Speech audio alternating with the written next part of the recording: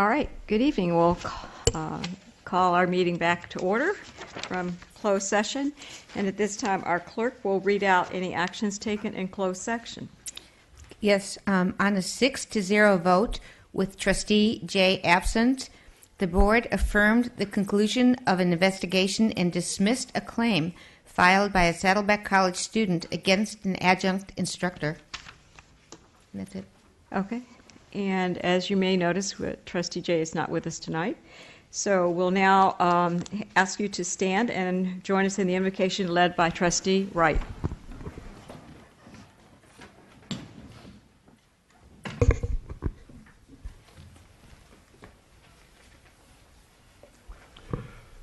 Our Father who art in heaven, we are so grateful at this Thanksgiving time for many, many things.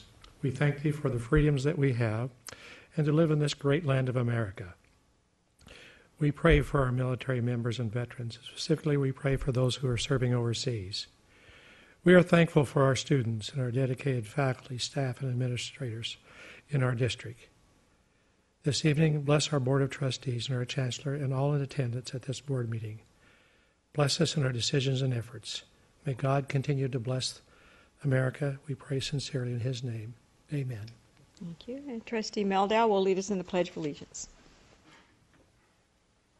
I pledge allegiance to the flag of the United States of America and to the republic for which it stands, one nation, under God, indivisible, with liberty and justice for all. Okay, at this time, uh, we have some resolutions and commendations. The resolution is for trustee Mike Meldau. This is his actually last meeting. And, uh, yeah, I'll go, yeah. And- And uh, our district chancellor will present it. So would you join the district chancellor at the podium? Okay, I'm, I'm reading the resolution um, for Dr. Frank Meldau, who is um, our Board of Trustee member, who tonight's his last meeting. Whereas Dr. Frank Mike Meldau has served on the Board of Trustees since January 2011, an appointment that he was honored to accept, having been a community college graduate himself. And whereas Dr. Meldau joined the district during a time of great transition, contributing valuable leadership and a calm, thoughtful, caring demeanor to the board's role in accreditation issues, comprehensive st- strategic planning, and resource allocation modeling. And whereas during Dr. Meldau's service, he took great interest in learning about the district and colleges, extensively touring and inter- interacting with students, faculty, staff, administration, offering support, understanding, and valuable fe- feedback to the board and the community, thus enhancing the district wide culture. And whereas Dr. Meldau demonstrated Im- immense support to Saddleback College and Irvine Valley College through his involvement in a myriad of college and district activities, including commencements, foundations, student veterans, nursings and health sciences, astounding inventions, and the IVC Life Science Building groundbreaking, the Saddleback College Library and Learning Resource Center remodel, speech and debate, fine arts events, and community forums. Therefore, be it resolved that the Chancellor and the Board of Trustees of the South Orange County Community College District do hereby express our deepest appreciation to Dr. Meldau for his dedication to faculty, staff, and administrators throughout our district and his enduring contributions to generations of students at Saddleback College, Irvine Valley College, and the Advanced Technology Education Park. We will miss you. We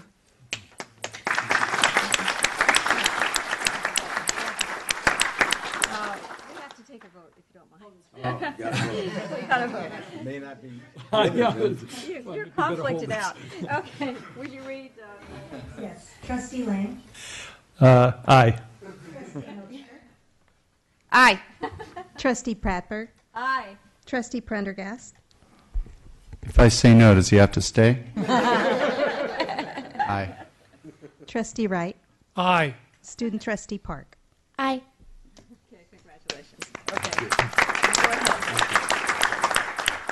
Okay, we have to get a picture. Wait, here, No, that's, that hasn't happened yet. pardon me. Okay. Yes.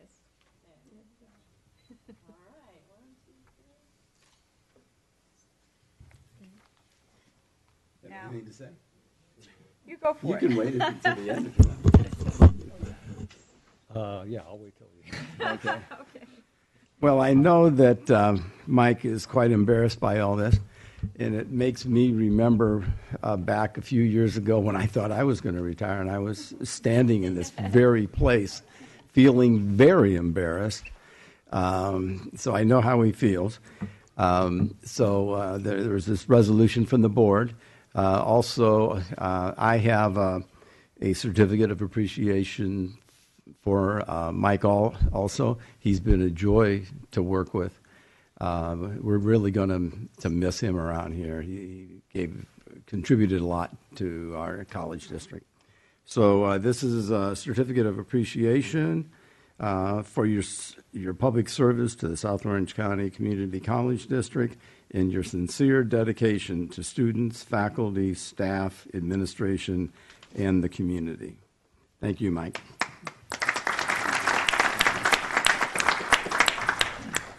And we'll with other commendations uh, from IVC, President Roquemore. Okay. Yes, for IVC, I do have a, a commendation for Trustee Meldau. I just want to tell a short story that, that uh, really sets the stage. But uh, it was mentioned that he attended our life sciences uh, dedication. And uh, once that concluded, uh, I noticed that uh, all of the other trustees were there, but he had disappeared. And so I went looking for him, and then finally, a little bit later, I see him walking out of what we call the Bees Garden. And so this is a relatively new instructional site that we have on campus, and he came back and uh, started telling me about all the wonderful things that he had learned about there.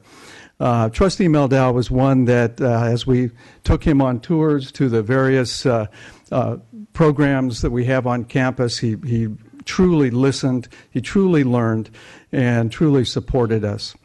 So uh, I hate to see him go. He's going to be greatly missed. Uh, we do have a, a plaque to put on the wall, and basically it's thanking him for his support and encouragement at Irvine Valley College.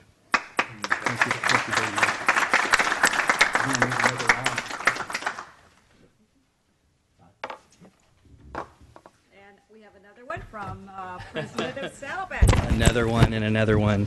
Well, I wish I could say this gives me great pleasure, uh, Dr. Meldau, because it does not. Uh, we're are very sad to see you go.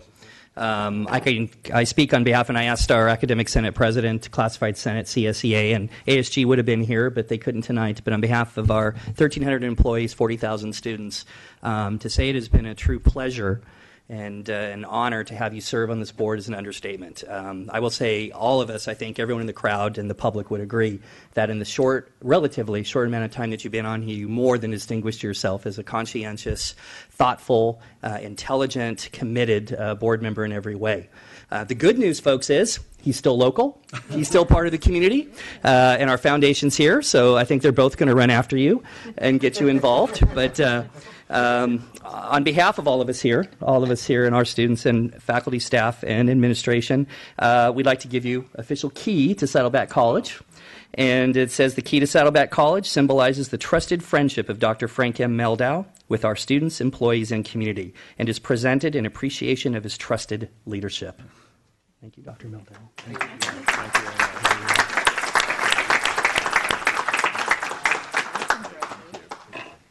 Thank you very much. Thank for serving. Kind of weighted down. here. Want to Say something? Oh, Um, I'll keep this very brief. I'd just like to say that it has been a real honor and a privilege to have served on this board. And I'd also like to thank all of those who have been so kind to me while I've been here and have helped me through the process of learning what a wonderful district and what wonderful colleges we have, wonderful students and teachers and staff all working together. So thank you so much for this. Thank you.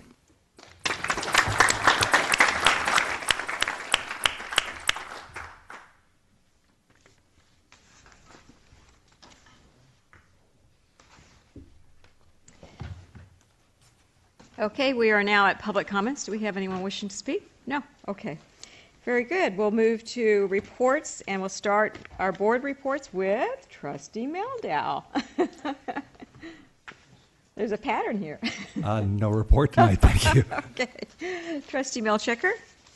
Um, I just wanted to keep it really brief. I wanted to say that we'll miss uh, Trustee Meldau, and um, he decided he, he didn't want to run again for personal reasons. So, um, uh, in case people were wondering why he's not coming back, he wasn't defeated or anything like that. So, so um, he's uh, um, certainly been a good board member, and he's an educational psychologist. He's got a PhD in educational psychology. So, as we're discussing things, he brings forward uh, the educational psychology point of view for our personnel discussions and the discussions we have in closed session, and it's always very, very valuable. And I also want to welcome uh, our new, newly elected board members, um, Dave Lang and Bill Jay, who's not here, and Tim Jemal, who's not here. And we, we, we're delighted you're reelected and looking forward to working with you. Jim Wright? And Jim Wright, oh, Jim Wright, I'm sorry. Jim Wright uh, it didn't have anybody run, running against him, so he is automatically our, our new board member, and we're absolutely delighted to have him back also. Excuse me. Thank you. All right, and before we go forward with reports, the chancellor pointed out that I missed a couple of commendations, so we're going to back up. And we have Saddleback College uh, nursing professor, trust, uh, no, sorry. Oh, I'm sorry, that one's going to wait. We, uh, the chief of police will be introduced, all right. Thank ahead. you. Sorry about that. Uh, my bad as well. Uh, a very important person to introduce to everybody so you could see his face and see him walking around campus, which you'll see a lot of. We're very thrilled to have with us our new interim chief of police, uh, is Chris Wilkinson. Pleased to introduce you to him today. Uh, he comes uh, with great experience in the community college system. He's been the chief of police at Sonoma, I'm sorry, Santa Rosa Santa Rosa uh, College, uh, as well as uh, Yuba uh, College as well, both in Northern California. So we're very lucky to have him, and uh, wanted you to get a chance to meet him. Chris Wilkinson, everybody. Great, thank you. Want to say anything? Trustee Prendergast? Uh, just uh, again, kind of agree with uh, with uh, Marcia's sentiments about Mike um, being, you know, the veteran I am over him by by a month. I, you know, I certainly understand exactly what uh, appreciate everything that he did to learn as much as he could as quickly as he did, and and really did a good job with that. I also just wanted to really reflect and be grateful for the election coming out the way it did for mainly for our surrounding districts that feed into the colleges because you know 20 25 less school days would have left a lot of underprepared students coming into our system. And even though it would have affected more of the surrounding districts uh, community college wise the K through 12 would have really uh, affected us coming in. So I think regardless of your politics it, it really is a good thing for our for our students coming into us. Uh, November November 7th, attended the uh, college forum down at IVC and regretfully could not come down to the Saddleback one because I had another issue that I had to deal with. But uh, it was very well attended. I, I'll wait to hear on how the Saddleback one was, but um, very good questions, very very good discussion, and, and I think it's a you know as our second one, I think it was really it's a really good precedent, and and we guess publicly we'll announce that we are going to try and commit to doing two a year. N- not to put anybody on the spot, Gary, but um, yeah, the the recommendation is trying to do a second one in the spring. So hopefully we can do that. And then last, uh, I was able to attend the uh, Veterans Day ceremony at uh, IVC as well. Sorry, it's just closer. Um, but uh, I did discover that uh, Trustee Wright was able to do both, and now I feel like I'm gonna I'm gonna challenge myself to do that next year. So, um, all right, that's it. Okay, thank you. And um, just to let uh, Trustee Meldau know, there's a pattern in this district of people who try to retire or leave. We still find things for them to do, so we'll be coming after you. okay, um, I want to congratulate the IVC women's golf team. They are first in the state, right? Congratulations. And the IVC forensics team took first place at the 2012 Pacific uh, competition. I'm not sure. We'll hear more about that from you, I'm sure. All right, and um, I did, uh, of course, attend the two forums on the 7th of November, one at IVC and one here. This one was very well attended as well. And it didn't go or run as long as the one at IVC, but it was very well attended and very successful. And I agree we need to do it twice a year. Uh, of course, I've been to several football games. Unfortunately, we didn't make it in the playoffs. It was very controversial on Saturday. Um, and I had to miss that game, but I listened on KSBR. And uh, there's like a preseason tournament of uh, basketball going on right now, and it's the women's season, um, but then the men will come up. So um, I didn't see IVC in that lineup. So the turn, yeah, pre preseason tournament. Okay, and then uh, the Saddleback Chili Cook-Off. So that's my report. We'll now move to Trustee Wright. Thank you. Uh, let me also express my congratulations to Mike, Mike, for those for that resolution and those three commendations that you received. They're well deserved. We're going to miss you serving on the board. I appreciate getting to know you. I remember when I first met you and took you through the science math building and showed you why we need a new science building. So, thank you. Uh, congratulations also to Bill Jay and David, David Lang, and also to uh, Tim Jemal. Uh, my wife was very grateful that I that I ran unopposed, so I, I made her day. So, thank you. I did attend also a number of uh, events. First of all, starting on uh, October the 30th, I went to the K through 12 partnership breakfast at Saddleback College. That was very well done. Had, had good attendance there. Very well done. And then I also stopped by the transfer college fair that Saddleback College had. That was at 10 p.m. for just a few minutes. On November the 3rd, that was a Saturday, I attended a football game. It was my third one for the year, and uh, we won that game uh, very easily, 66 to 42. So.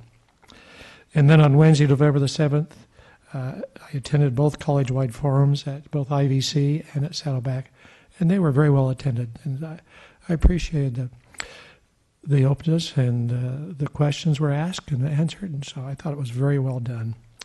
I also attended both uh, Veterans Day ceremonies at both, IV, at both Saddleback and IVC, and uh, uh, I was honored uh, I was the keynote speaker here at Saddleback, so that was a was greatly honored by that.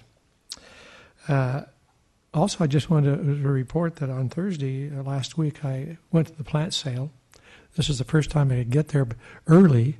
I've usually always been able to get there on in the afternoon or late on Friday, and the plants had been uh, picked over, but I got there in time to. Uh, got there at nine o'clock on Thursday, so I could buy some nice plants. I think that's very well done.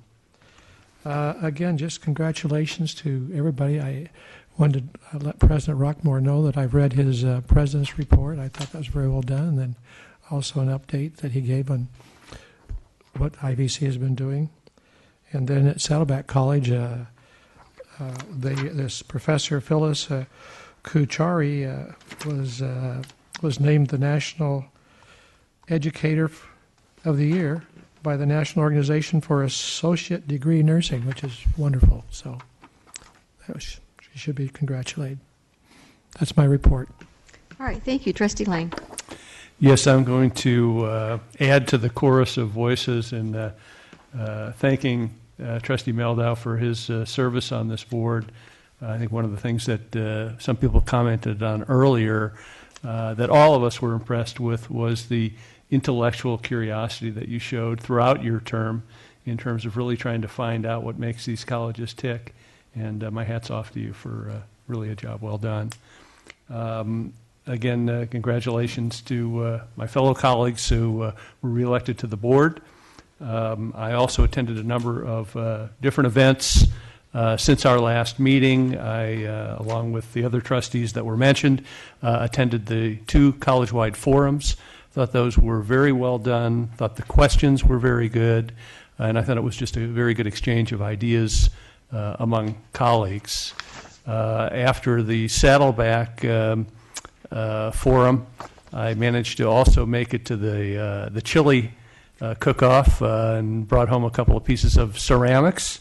that was in support of the ceramics department and um, really a, a, nice event. A lot of nice folks that attended that. Uh, and then finally, I just wanted to wish everybody a very uh, happy Thanksgiving, a very safe and happy Thanksgiving. Thank you. And student trustee Heather Park. Um, on November 7th, I was able to attend an ASIVC meeting where we had a really good presentation regarding um, a recent incident at IVC. Um, we had a police officer from Fullerton College who was in charge of a rape pre- pre- prevention program who spoke to us about how to stay safe on campus and just avoiding dangerous situations in general. Um, I've actually been working with IVC's um, sociology department. Um, we are trying to form a sociology club, and we have a really good group of students right now that are really working hard to get this club together. Um, congratulations to the IVC debate team who did really well a couple weeks ago. I'm sure he'll talk about that later. Um, he was actually recruiting me onto the debate team earlier. and um, congratulations again to everyone who was reelected. And it was my first time voting, so that was exciting. All right, thank you very much. And we are now at the Chancellor's report. Yes, I'd like to uh, point out a, a few items uh, tonight on tonight's agenda uh, that I think will be interesting. Number one is uh, one of the discussion items is uh, Student Success Task Force Recommendation Three, incentivize successful student behaviors. So we'll be hearing about that. Uh, there'll be reports that I'm looking forward to from both Saddleback College and Irvine Valley College foundations. And I see they're represented out here in the audience, and we look forward to hearing from them. And lastly, uh, the board will be uh, hearing a report from our uh, auditor of the district books for, for last year and uh, presented to the board for their acceptance. Okay, and we are now at board requests for reports. Are there any board members wanting to request reports? Okay, seeing none, we are at item four, but we're going to advance item 6.1, the district audit report, um, before the discussion items. So I'll have Vice Chancellor Fitzsimmons present this, please.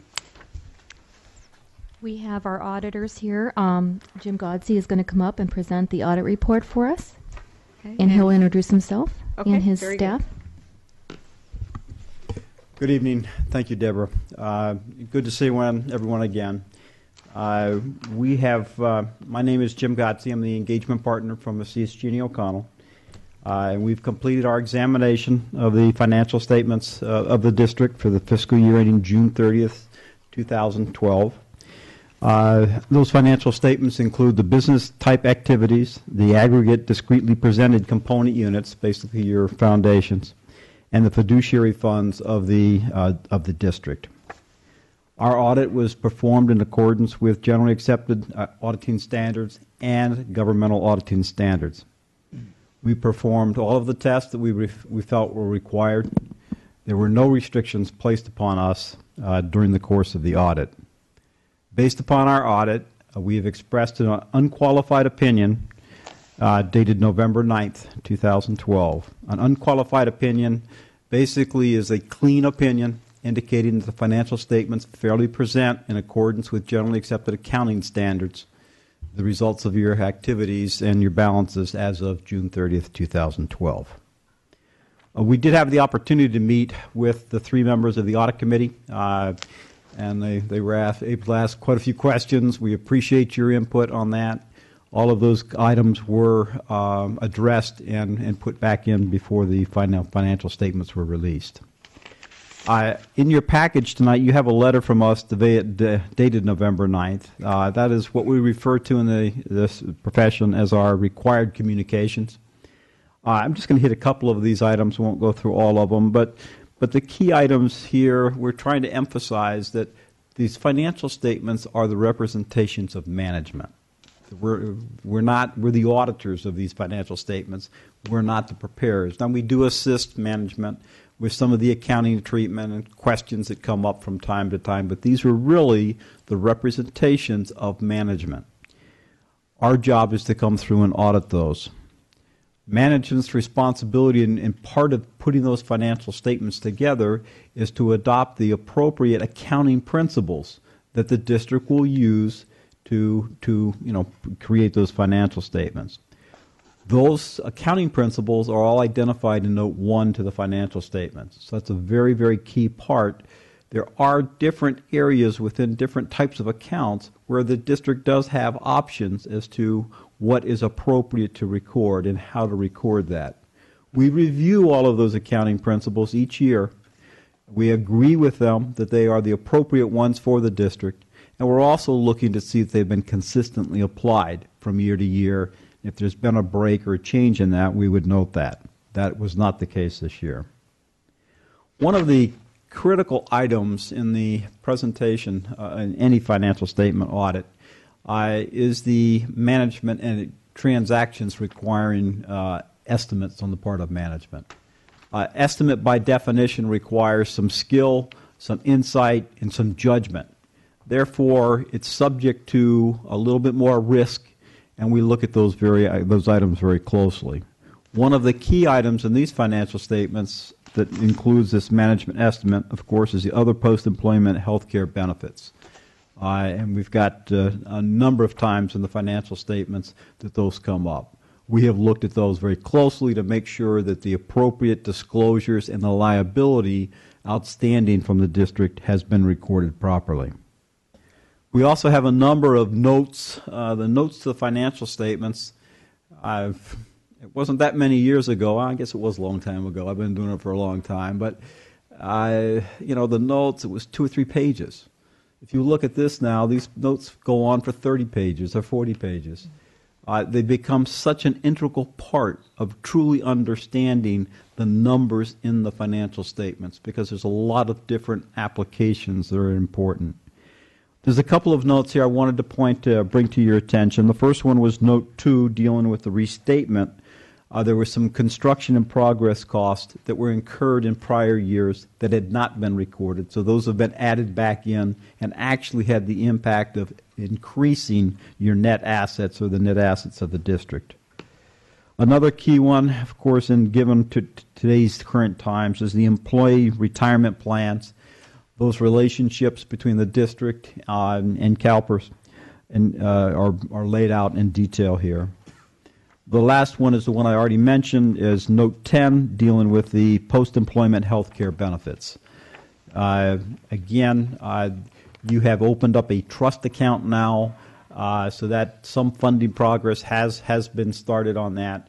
Those are very significant items that have a great deal of impact on your operations. Uh, our job, believe it or not, is to make sure that this document called financial statements uh, the standards actually require us to see that the financial statement disclosure, disclosures are neutral, consistent, and clear. And if you've ever read these financial statements, you can appreciate it's a challenge to make sure. The neutral part is pretty easy. That's, that's the objective, making sure that these financial statements are objective in their presentation. The uh, coming back and making them consistent and clear is, is a challenge. Uh, it's very detailed technical areas. We did not encounter any significant difficulties during the course of uh, performing the audit this year. Any audit is challenging. It requires the tremendous effort of everyone, not only in your fiscal area, but throughout the, the district. We're talking to program people. There's a, just a you know, numerous number of people, including board members who we've interviewed and worked with and discussed uh, we thank you for your participation. It made it possible for us to accomplish the audit. We've identified on page two in the letter a number of areas in here, what we refer to as audit adjustments. Um, uh, these were areas that we identified during the course of our audit. We presented these to management. Management has booked all of these items, included all of these items in the financial statements. There's actually only uh, two items that applied to the district. The remaining items all applied to the foundations. Uh, we did not have any disagreements with management over the application of accounting principles. Uh, if we had, we would be bringing those to your attention today, but that did not did not happen. Uh, we have requested that management provide to us written representations uh, that they're taking responsibility for the information that's in the financial statements, that everything that is there is is properly recorded, and everything that should be in the financial statement has been included. Um, we were not aware of any consultations that management had. If management had been out, we, the, the term we use is opinion shopping, you know, asking other auditors, well, gee, would you, how would you handle this, or could you, we, uh, if if that came to our attention, the standards say that if if another firm was approached, they were required to talk to us. We were not aware of that, so there was no controversies here that we would bring to otherwise bring to your attention. Um, we do have other information in the financial statements. That other information uh, is not it's not audited. It's not we don't express an opinion on that. It's in relationship to the basic financial statements as a whole. That includes your required supplementary information, your other supplemental information, which is the uh, single audit. This is your federal financial assistance that is audited as part of this and included in this package. Uh, and then we also have the state compliance. There's a, any number of state compliance issues we're required to come through and test each year. That concludes my prepared statements. Uh, if there's any questions uh, from the board that I could uh, address at this point in time, I'd love to do that. Trustee Prendergast. Yeah, uh, I guess it's page four of Exhibit A. Uh, the bar graph that shows the FTEs, you have the blue credit, red non-credit. Is it my understanding you would add those two together for the total number, or is the red taken out of the credit? This is, uh, again, management provided information. My understanding is that these are separate. So these are. Add them together for a total. You'd have to add them together to get a grand total, correct? Just to try to give you a little bit of a, a feel for the direction uh, that those, both the credit and the non-credits are, are running. Trustee Milchiker? Yeah, I just wanted to say that three of the trustees were on the subcommittee of the board, and that was myself, trustee, um, well, board president Pat Burke and board member uh, trustee Lang, and we met several times with the audit committee and with our district uh, district financial services committee, and I feel everything is is, is very well explained and, and very well done, and I think. Um, our, our Vice Chancellor Fitzsimmons for meeting with me and, and going through everything with me also. Um, I- wasn't sure what you meant about opinion shopping. Could you explain that? Because I, I hadn't heard that term before. Thank you. You don't see it very often in, in the governmental settings, especially in higher education. Where you see that is in corporate America. Uh, very often, you've got firms out there that they really want to present a particular revenue stream or expenses in a very certain way. And if they're getting pushback from their external auditors saying, nah, we don't think that's correct, sometimes they'll go out and they'll talk to another CPA firm and say, gee, this is our circumstances. Would you allow that to happen if you were the external auditors? It doesn't make it right or wrong. All it is is for the governing board, you should be aware if management has concerns or would like to have some, done something different. Uh, and so that's why the standards now require that if we became aware of that type of a situation where they were talking with other auditors about what they might think is correct, then we have to bring that to your attention. And that's all we're all we're saying is that so did you, not you're happen. not aware of that then? That's correct. Okay, That's excellent. correct. Thank you. Any other questions from board members? All right. Thank you very much. We appreciate it. Thank you. Appreciate your time tonight. Thank you. All right, we will go back to uh, our agenda now. We are at discussion items. Number one, 4.1 is Saddleback and Irvine Valley College Task Force Recommendation 3. And who is going to start with that?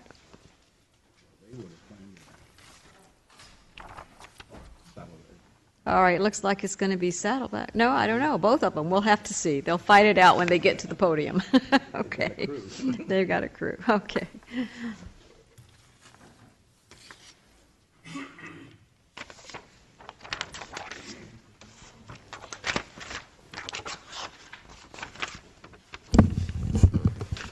Glad you can't get your full, full of this stuff.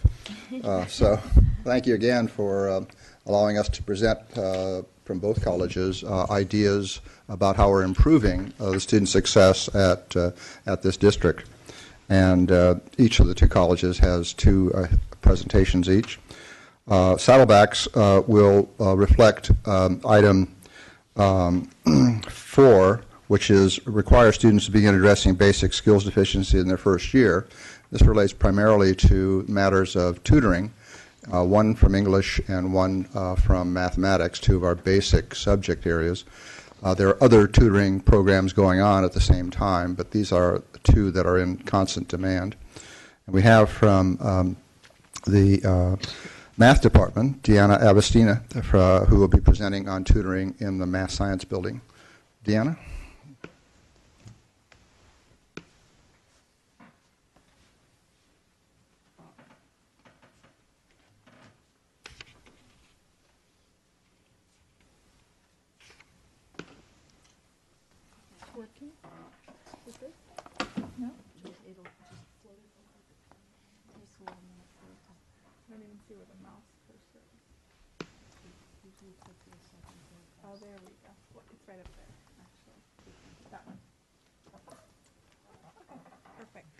There we go. Just another demonstration of inter-college cooperation. Wonderful. We'd like to see. okay. Hi, I'm Deanna Avatisi, and I'm a full-time instructor at the mathematics department here at Saddleback. And so um, Professor Sharon Sotelo and I are in charge of the BSI Math Tutoring Center. So this is just our second semester that we've been in operation, but here's a brief overview.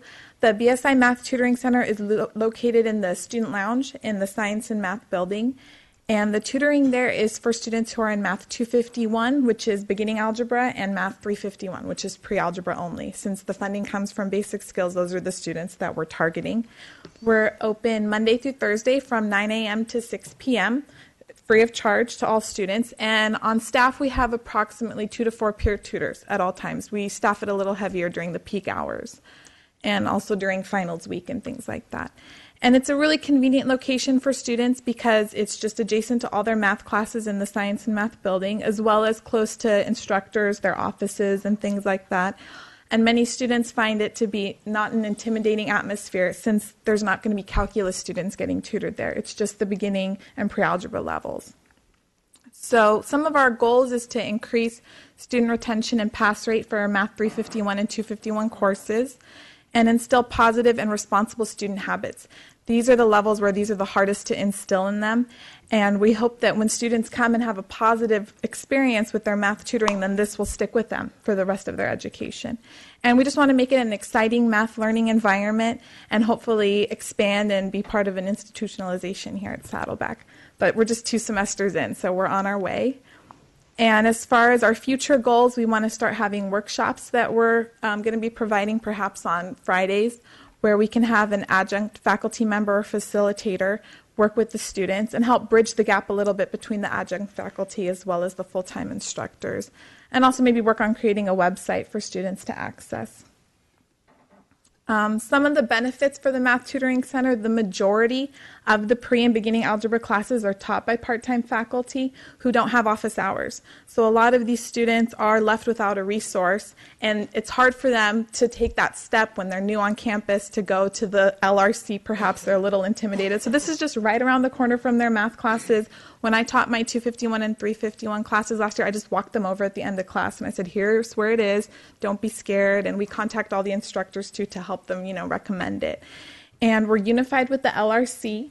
That way, we have direct dialogue with their tutors as well, and faculty have direct access and input because we're familiar too with different instructors' in, um, instructional methods, and we make sure that our tutors tailor and match that so that students don't come and hear too many different explanations for how to do a certain problem.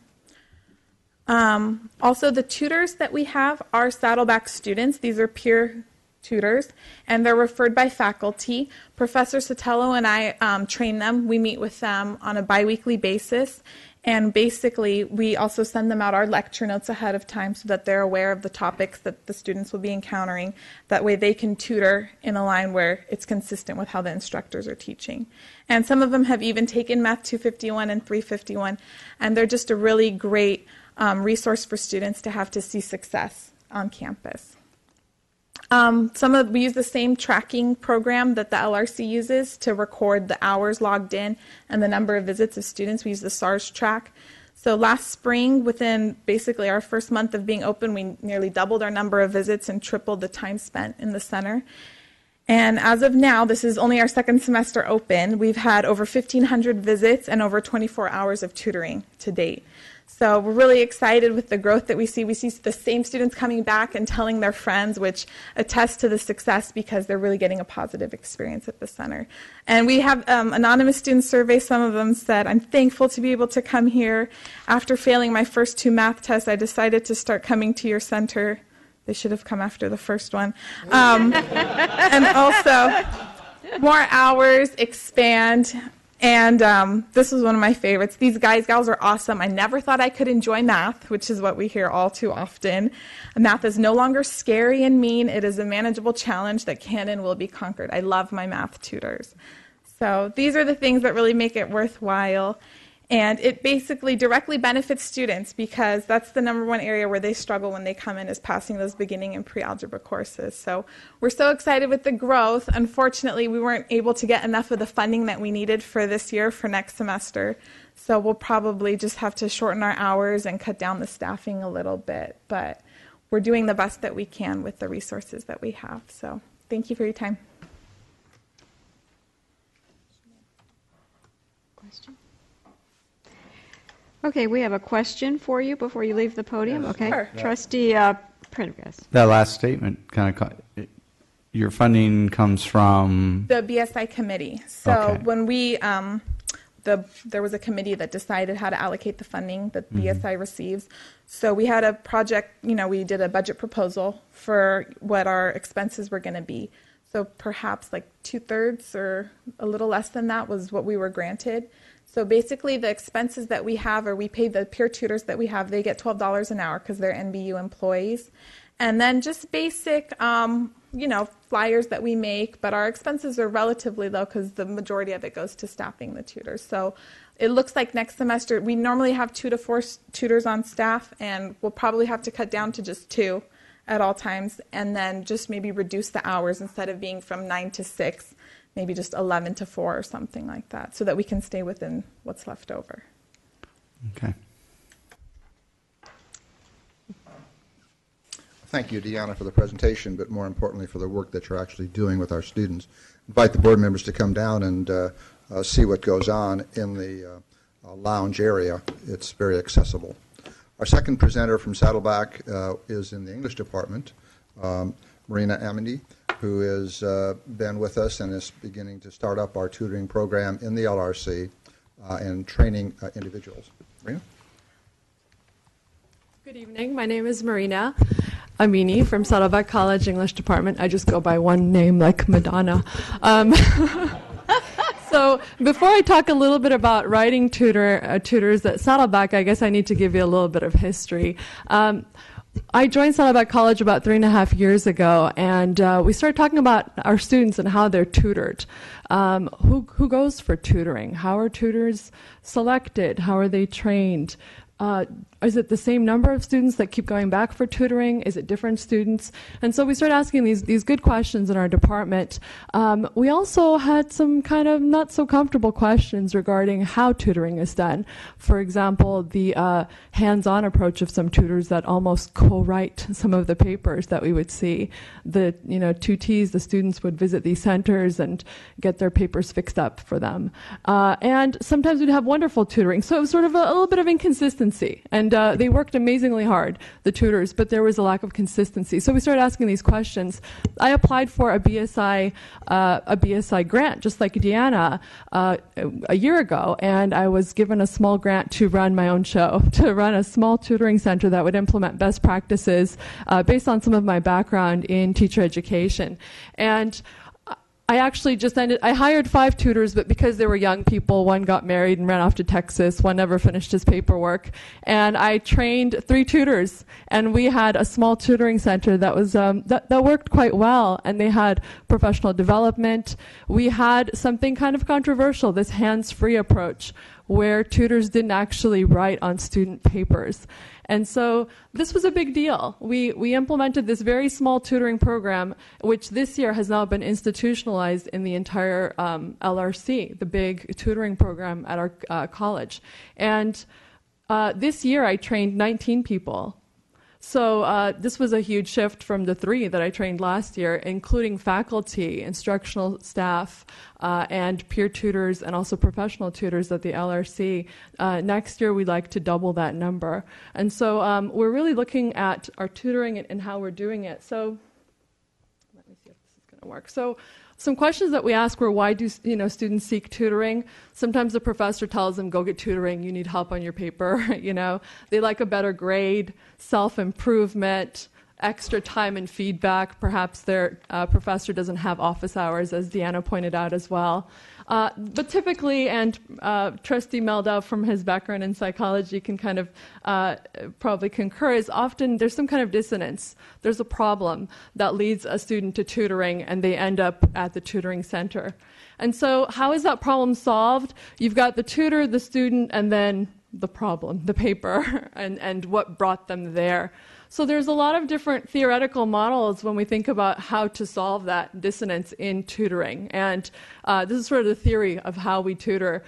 Oftentimes, what has happened in tutoring is the student hands the tutor the paper, and the tutor fixes it, and then gives it back and there's very little interaction so the arrows i've kind of you know drawn here have to do with the student handing the problem to the tutor and the tutor fixing it Another model is the student talks about the paper and the tutor talks about the paper, and they both talk about the paper at the same time. So they're kind of co uh, addressing the, the problem or the dissonance and, and taking care of it. The approach that we've now embedded in the LRC, which I introduced in the BSI tutoring program, is a, a third model, which is that the student is the agent of the paper the student is the agent of all change that occurs on that paper. The student owns the paper and the writing. And although it might sound commonsensical, this is really uh, radical in terms of how tutoring is done. It really means that we have now adopted a hands free policy. The tutors may not write on student papers. So in the past, and this is a, a picture of a paper that one of my own students submitted a year ago you can see that there has been line by line editing done by the tutor's hand. And this is the typical sort of feedback that we would see from our tutors. Another example is this one. I know it's a little bit hard to see, but there's entire lines crossed off by the tutor's hands and rewritten. Uh, uh, you know, I almost at that point requested that the tutor like write his name as a co-author for that one. Um, but you can kind of see that that student is not enabled to fix her own writing. That student has now sort of been uh, accustomed to handing the problem over to the tutor. So we've, we've moved from that, and we've really moved to this new model, the, the third model, uh, as I mentioned, where the student owns the paper. And we, we have implemented the use of questions in the tutoring session, probing and clarifying and getting the student to consider what needs to be changed and why. Perhaps that means revisiting the professor's prompt explaining concepts, thinking out loud, and having the student sort of adopt the thinking that goes behind correcting and revising writing. Um, asking the students to then fix the errors after they're taught what those errors are. Higher level critical thinking, you know, about whether they're on topic, how their paper is organized. Um, and then this interesting concept of our job as tutors to, is to improve the writer not the piece of writing. So, as an English professor, I can take a horrible piece of writing and within a 30 minute session make it an A paper. I can do that. Ha- and many of my tutors can do that because they're exceptional students and writers themselves. But that's not the point of the tutoring session. So we're re envisioning the tutoring session as it's not your job to take that paper from a D paper to an A paper. Your job is to teach that student within the 30 minute session one or two or three new strategies for becoming a better writer. So then the student owns that success and can apply it to future writing. So this is the idea that the student becomes a successful writer and thinker, and um, we are just a scaffold in that road to success. We're not a crutch for them. And then finally, that hands free policy, which has caught on. We've now got it posted inside of the um, session in California cell phone law as well. so, the tutor training, which I've uh, led at Saddleback, as I mentioned, we've really expanded it and we hope to require it of all tutors. Um, screened, interviewed, recommended by faculty. Most of them are peer tutors uh, who, are, who are very successful. Unfortunately, the problem with peer tutors is many of them transfer out every semester and we lose them. So, we're constantly filling the pipeline with new, uh, with new tutors. They get at least 10 hours of professional development, um, which I lead. It includes readings of theories of learning and practices, and um, some of these models, multiple intelligences, the psychology of learning. A lot of that is embedded in, in how they're trained for tutors. Um, and then formal feedback and evaluations by faculty, which they've never before had as a formal process for tutors at Saddleback. So this year, they get formal feedback and conferencing by faculty members um, who will help them to sort of perfect their art. And then peer to peer observations, we're supporting them learning from each other. The system of uh, if this tutor has really, you know, strengths in MLA or, or something that you want to learn from, supporting them from learning from each other as well. And then classroom visitations as well. Um, to kind of wrap up the, the next sort of trajectory for tutoring and writing, where we see tutoring and writing going at Saddleback College and implementing some of these best practices, uh, we'd like to start embedding tutors in basic skills classrooms, assigning one or two tutors in um, classrooms where the students are struggling. I know my colleagues in the math department are already piloting some of these ideas. Uh, having those tutors work directly with the professors and supporting those students. Uh, creating master tutors where the tutors uh, are recognized for special skills that they own and having other tutors learn from each other and then having students uh, learn from them if they need help with those particular skills that they've mastered. Attendance at local and regional conferences. We've also started this. I took uh, one of my three tutors to a local conference um, for the Southern California uh, Writing Centers Association, and we hope to incentivize that as well as a form of professional development to keep just the best tutors there for our students who see them. And then considering roles really the tutor as counselor, the tutor as role model, the tutor as intermediary, they fill this fuzzy space between the teacher and the learner and um, really helping the, the, the, tutors to own that role as well. Um, but there's a lot of exciting things going on and um, we welcome your support and any questions as well. There's my contact information. Thank you very much.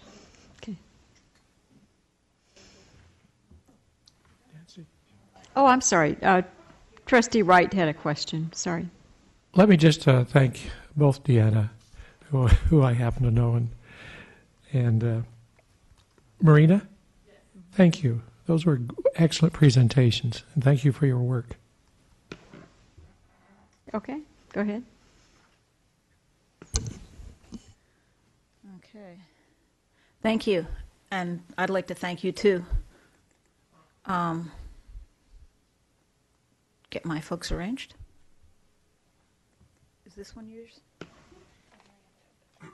This one? Ah. All righty. We'll get them started. Um, from IVC, we're going to again talk about the Student Success Task Force Recommendation 3.4. To remind you, the first two elements of Recommendation 3 mostly had to do with enrollment priorities, and you had a special report on that last month. and the third component of Recommendation 3 is to try to encourage students to become full time, and there's not a lot we can do about that without money, so uh, we're sort of skipping over that one. Could you just introduce yourself, please? I'm sorry. I'm Kathy Schmeidler, the president of the IVC Academic Senate. I apologize. And what do you teach? I teach biology. Thank you.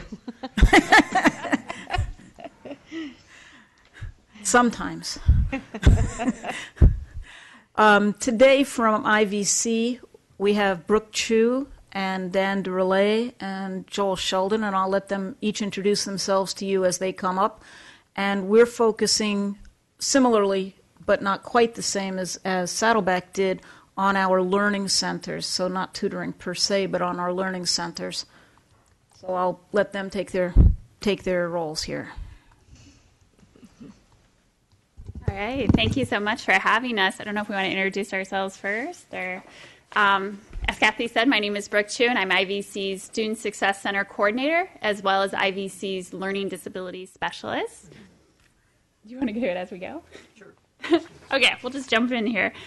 Um, First, I, I, was really excited at the college wide forum that we already started talking about the Student Success Task Force recommendations, and we really began the dialogue then and was reaffirmed by the board and our chancellor and our president that we do want to be a leader in the state when it comes to this and that we want to support initiatives for student um, achievement and student success. Um, and we thank you so much for the opportunity to come here tonight so that we can continue this dialogue about how our district wants to define student success and how we want to go about achieving it. Um, it also gives us the opportunity to really show off our best practices that are already in place. For us, student success is our daily life, it is what we do.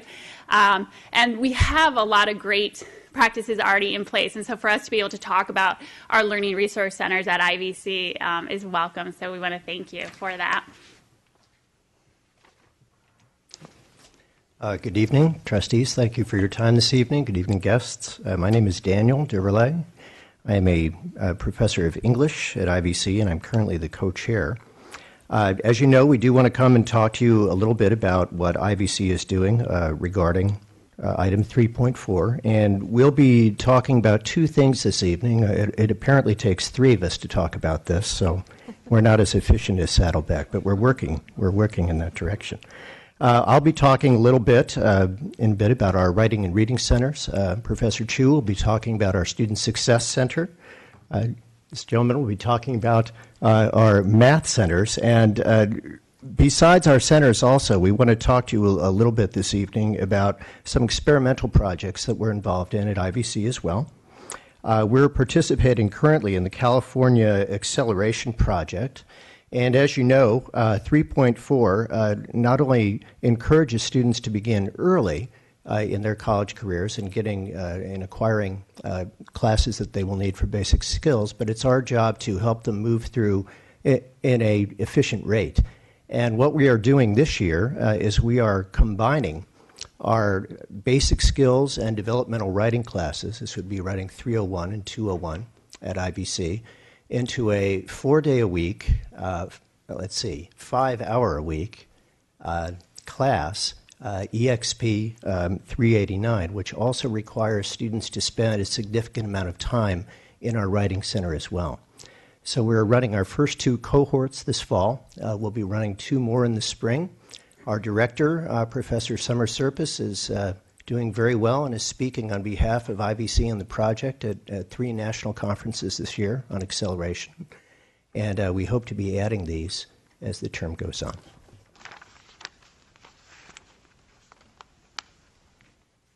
Hello, everyone. I'm Joel Sheldon. I'm the uh, coordinator of the IVC Math Center.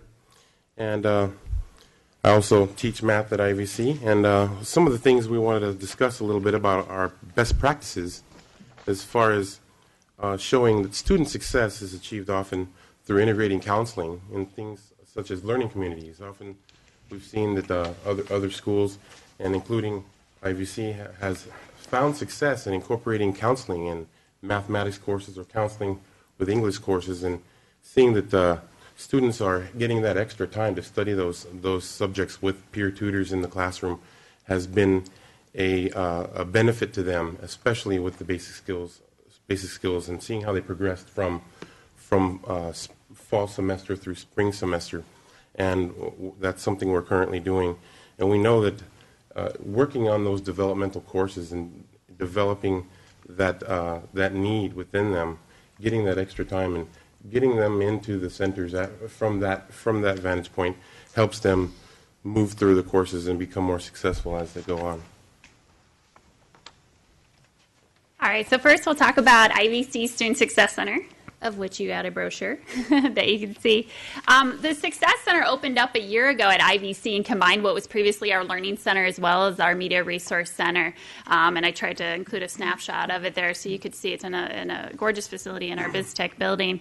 Um, we provide one on one tutoring as well as small group tutoring free to IVC students. They enroll in Tutoring 301, which is a zero unit um, open entry, open exit course. And then beyond that, we also provide additional transfer level uh, tutoring as well as uh, tutoring in our CTE courses to three at risk populations, which include our military veterans, our uh, EOPS students, and our students with disabilities. Um, in terms of our staffing, we have 43 uh, staff members, and that includes a couple of adjunct faculty, mostly NBU hourly tutors, and a few volunteers. And I won't uh, repeat what Marina did, but our tutor training uh, model is pretty much exactly what you have as well everything down to the hands off and all that good stuff. Um, and so we, we keep that, uh, and we want to continue to improve our training for our tutors. Um, the other piece of the beyond the tutoring that we offer at the Success Center is the computer lab access. So our Success Center is the computer lab for IVC. So we have uh, 60 uh, computer stations which are all loaded with specialized software. So students who are taking courses that involve particular software programs, and not just our computer science and our CIM students, but other, uh, you know, whether it's drafting, modeling, uh, accounting. We have a variety of uh, different curriculum that utilize software. And this is where students come to complete their lab hours. And uh, we have also computer lab technicians on staff who are able to assist students uh, uh with their computer needs and their software needs. And we're doing a formal research project with Dr. Hayward and IVC's research department. But in the meantime, in terms of our program review and the SLO data that we've already collected, we've been quite successful in students feeling that the effectiveness of their study skills has been improved and that they would absolutely recommend our tutoring to other students. And we also collected a whole bunch of qualitative data with really great enthusiastic statements, uh, much like Mary presented, in terms of what um, our students have to say about the tutors, how thankful they are that we offer it, um, and we're equally pleased to have our students. I also gave you some data in terms of our utilization rates, and this is just from January through October. Again, we are a new center, so we're getting the word out to students. Um, and uh, continuing just to build the program as well as the training of the program. Um, we also want to try to increase the number of group tutoring appointments so that we can continue to serve more students since we're at capacity with our individual appointments. And I'll turn it over to Dan. Okay. Uh, before Joel talks to you about the Math Center, I wanted to talk to you a little bit about our reading and writing centers. Uh, these are all located fairly close together, makes a nice, easy one stop for the students. And we're especially proud of these places. Uh, one, one of our directors is, is so proud of her place that she didn't feel that she had an appropriate headshot actually to, to put on the slide. So Julie Evans is listed by this sad camera shy. Uh, we also have Melanie Hayeri, who is our associate professor in reading and director of the center, and Beth Sanchez, who has been a lab technician in reading for 17 years. And uh, the reason I wanted to start with the staff has, has to do a lot with remembering our mission. Uh, we are serving basic skills students for the most part. Uh, this definition has changed over the last few years. We're now seeing students not only coming in uh, with skills challenges, but we're also seeing students coming in with developmental disabilities. We're seeing students coming in with learning disabilities. And the population has changed, and, and what we are trying to emphasize in each of these centers is student care, quite frankly. Uh, Beth, I think, says it best. Uh, after a particularly long, difficult day last week when it was quite crowded and she had a, a very challenging array of, of students come in, uh, she said, uh, Well, that was a long day, but these are our kids. And I think that sums it up. Of course, they're not always our kids. Sometimes they're our returning adult students, but that is how we feel about them. We are in this project with them. And our goal is to achieve success and to help them to achieve success as they, as they move through IVC. Uh, our reading center, uh, located right next to the writing center, in order to be eligible, uh, you need to be a basic skills student who is also enrolled in a reading course, and this reading course must be a prerequisite to the college writing program. So students sign up for this accompanying reading lab where, where Melanie and Beth are placed. Uh, as I mentioned, a significant number of the students have learning and, dis- and developmental disabilities. Uh, the work, uh, students complete a minimum of 24 hours a semester in the reading lab. They go in and work independently on a number of uh, units uh, on their computers that have that have complemented their coursework. And Beth and Melanie are there to help them along as best as best as they can. And there's a real relationship building that happens there. Uh, students are assisted by the lab tech and not only Melanie, but also full time and part time reading instructors. We're very grateful uh, for that system at IVC that we have it set up so that our instructors, the, our instructors, the same folks in the classroom, are also helping the students and getting to know them on a one on one basis in the lab. And in terms of our usage, we have approximately 350 students per semester who are working on improving a number of things, from reading rates to critical reading skills, etc. Talk briefly about our writing center. Uh, eligibility here is we primarily serve students enrolled in basic skills and developmental writing, both pre college courses. Uh, students who go through IVC, if they were to begin at a basic skills level, uh, would have to take four writing courses. And to get them out in two years, we have to be fairly efficient about that. So, what we have done is we have paired each of the writing classes with uh, a writing lab requirement in which they must have four conferences per term uh, uh, on a minimum for their paper. And they also must spend 24 hours in the lab as well. So, they get to know us, we get to know them. Um, our students also bring assignments from courses, and they receive uh, additional one on one, fairly hands off instruction. And uh, our staffing is what we're particularly proud of. We, we have been uh, blessed with the opportunity to have both full and part time instructors who are currently teaching writing courses uh, and be the people who staff the center. And they're there from 8 in the morning to 6 at night, uh, Monday through Thursday, and from 9 to 3 on Friday. And we're packed out. Uh, we, we had to turn away students this time, uh, this semester for the first time. In that, uh, as you can see, we're serving about 1,300 students and holding approximately 5,000 conferences during a typical academic year, not counting our summer. Uh, and we also have informal meetings uh, per our semester. So I, I am one of the people who get to work there. I'm happy to see my students and my colleagues' students in that atmosphere as well. And now for the Math Center. The math department at IVC has, has created a very, very uh, comprehensive and uh, robust math center that serves a variety of types of students. Students that are taking developmental courses, math, uh, math 351 and 353, 253, students with basic skills needs. And we provide service to them.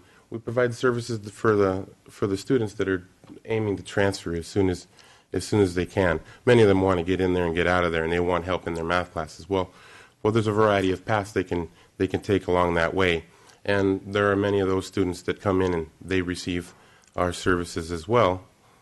And along the way, we see a lot of the students are completing their course, major course preparation, STEM students, and we get a lot of those who come in and utilize our services, and many of those students end up becoming our peer tutors that work with us. We're, on average, over the last couple years, we've been uh, we've been uh, servicing students at a tune of about 7,000 hours per semester. So we're getting a you know fairly decent uh, attendance in our math center. So who we serve is a broad gamut of students, but what we're trying to do is get those students that are coming in with basic skills needs into the second tier, the second level of of uh, of transfer level or continuing on throughout their major preparation. The IVC Math Center, what is it that we do? Well, we provide quality drop in tutoring in mathematics. Now, as we've heard already, quality drop in tutoring or quality tutoring, tutoring in any way comes from good training. And uh, one, of my, one of my passions is uh, to, as sooner than later, uh, find find a way to get us certified. I've been researching this Center for Reading, Reading and Learning Assistance, and I think um, I've heard some great ideas from from uh, from the uh, other presenters er- earlier, and that's a lot of the things that we're doing as well. We're having in service during the semester tutoring training sessions on Fridays, asking the tutors to come in and do some training and keep the pencils out of their hands and try to find a way for them to become more, you know, Socratic in, in approach, or follow the inquiry method. We also facilitate weekly uh, supplemental instruction workshops, just like we were speaking about earlier. We're doing some things on Fridays where students will come in and discuss uh, difficult topics, typically difficult, difficult topics in their math courses, um, preferably uh, things that uh, are current, and it's difficult to find out where everybody is at the same time during the semester. So we've been working really hard at that, and they've been fairly well attended as well. And and you know, it, it depends on which topic we're coming up on, uh, to which class we're trying to address at that time, but we're re- really trying to get at those problems and help those students in another way. Try to reimagine how we're helping people and develop an activity that gets them more interactive. And these these workshops are peer facilitated. The tutors that we're hiring to work with us and training to work with us are also facilitating a, a workshop in a more of a group session or a small instruction setting where they provide a little example and they just pretty much try to get the students to be active and work together and try to develop some understanding with things in a more enhanced way. And we're also assisting students with, with a variety of technology-based math assignments and projects, different plat- platforms, course management systems such as ALEKS and My Math Lab, or many of our instructors are uh, assigning project-based uh, assignments on programs such as Maple. We're also assisting students with the use of gra- graphing calculators. So using, using some of our expertise to develop uh, their learning and enhance those things, not just for the purposes of doing them, but to provide a, a bigger picture of what they're learning about. How do we go about these things? Well, we really truly believe that to provide support to our basic skills, stu- our basic skills students will in, will in turn increase their likelihood to stay in school, to keep them in school and persist throughout education. To help those students strengthen those things they've already learned. Many of them come into our basic skills math courses with some pre-existing knowledge, yet it seems like they they have not retained that information, and we want to find a way to strengthen some of those things they already know, not try to reinvent the wheel, but maybe rediscover what they've already learned. And we want to guide everybody uh, throughout persisting in education, persisting in math, and successfully advancing through their courses, but to complete their goals. We want to find out if we can create independent learners, people that don't don't need us to be there when they're doing their problems on the test because we're not going to be. So the proper tutoring that we're providing is helping those students become independent math learners so that when they go on, they pass their classes, they continue on, they transfer, they get their certificate, and uh, that's our that's our principle here.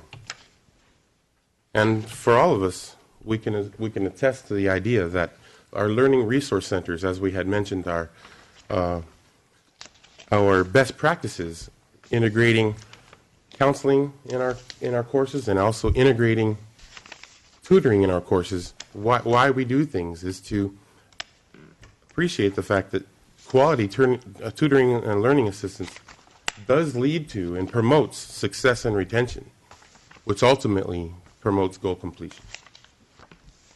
Okay, thank you. Thank you very much. Any comments or questions from the board? Oh, I'm sorry, Bob, you're uh, not finished. Go ahead. Thank you. Just addressed one of the concerns of the board about the amount of money that goes to some of these projects. Um, much of this money comes from the state. That money has been shrinking. We can also uh, secure grants, which takes some time to get uh, uh, that written and then approved. So that is augmented, and then some of the money by the colleges can be directed toward these particular centers. And I hope that, again, as we realign with the state mandates, that we do that.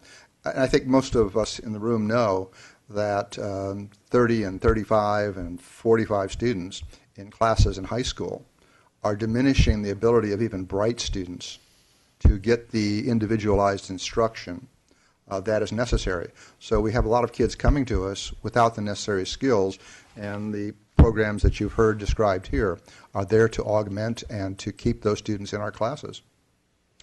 I think they're wonderful programs. Could you give us a total for Saddleback and total for IVC on the skills centers?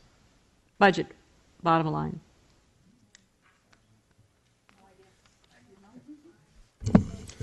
We'll have to ask the budget manager. Oh. I don't know offhand, I'm sorry. Okay. I Okay, think well, maybe that's Saddleback's something we can was. provide later. Was it $90,000 this last year? BSI? 90,000, yeah. Okay, great. Thank you. Yeah, IVC's BSI funds were a little bit higher than that. It, it's a complicated algorithm because we get BSI funds based on the coding of the, of the basic skills courses that we offer. And so when we offer these pre-collegiate courses, which don't seem to lead towards two-year completion of a degree, we also then get the BSI funding that allows partial funding of these learning centers. So it's a instead of being a circle, it's more like a pretzel-shaped um, pattern of cause and effect. So some of what we've t- heard about tonight is funded through these BSI Basic Skills Initiative funds. and some of them are funded through OSH, where students sign up for courses, and we get we get actual uh, enrollment fees for them. Some of the students sign up for no credit courses, and so we're paid. The allocation is at a lower rate, but we still think that it's worthwhile. So the funding for these various centers is a little bit complicated to uh, to calculate. Right. Okay. Trustee Meldau has a question. Yeah, in psychology, one of the big things is outcome studies, and I'm wondering whether there are any major outcome studies going on in the field right now, and if you could maybe tell me uh, one or two of them. Uh, Excuse me, in terms of outcome studies that we're undertaking at IVC or outcome studies no, in the field? no, field wide. In the field? In other words, uh, it sounds great what we're doing, and Mhm. but is it really making a difference in the long run? The amount of tutoring that we're doing per student. In other words, do they get better grades in uh, in a four-year college? Do they go on to master's programs and PhD programs? Do we have any outcome studies like that that are going on right now that anybody's aware of? Um, I am aware in terms of, um, I actually, I'd have to pull up the specifics and we could get that for you, but uh, there have been published studies that have shown that for students who require uh, remedial coursework, that the methods of integrated counseling and integrated tutoring has shown uh, more successful outcomes than students who do not receive that additional supplemental support. Um, and in order to verify that being a best practice, I know for us that's why we're undergoing an actual formal research study with a control group and with our students to look at those very outcomes, both in terms of course completion, degree completion, uh, GPA, and other outcome measures uh, beyond the qualitative data. Thank you. President Burnett wanted to jump in on this. Thank you, Madam President. Actually, uh, Dr. Roquemore and I just sidebarred here. Um, we would encourage actually the trustees to come out and visit the learning resource centers at both of our campuses. You really to, to get a full appreciation of the extent of the services, the phenomenal work that our faculty and staff are doing. It really is great to come out and visit during the regular week, and uh, we'll take you on a tour. We're more than happy to do that. Great. Thank you. All right. Thank you very much. We uh, will. Oh, I'm sorry. One more comment? No. Okay. We're going to move on. Thank you very much. Our second uh, discussion item is um, Saddleback College and Irvine Valley College foundations. Okay. And let's see who's going to present first. Okay. IVC is up first. Looks like. Please introduce yourself and give us your title.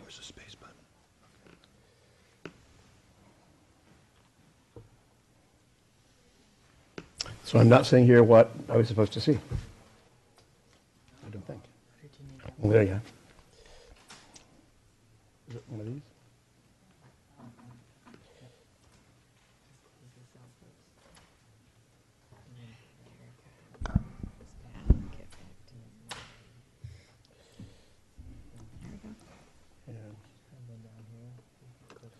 Yeah, they go here.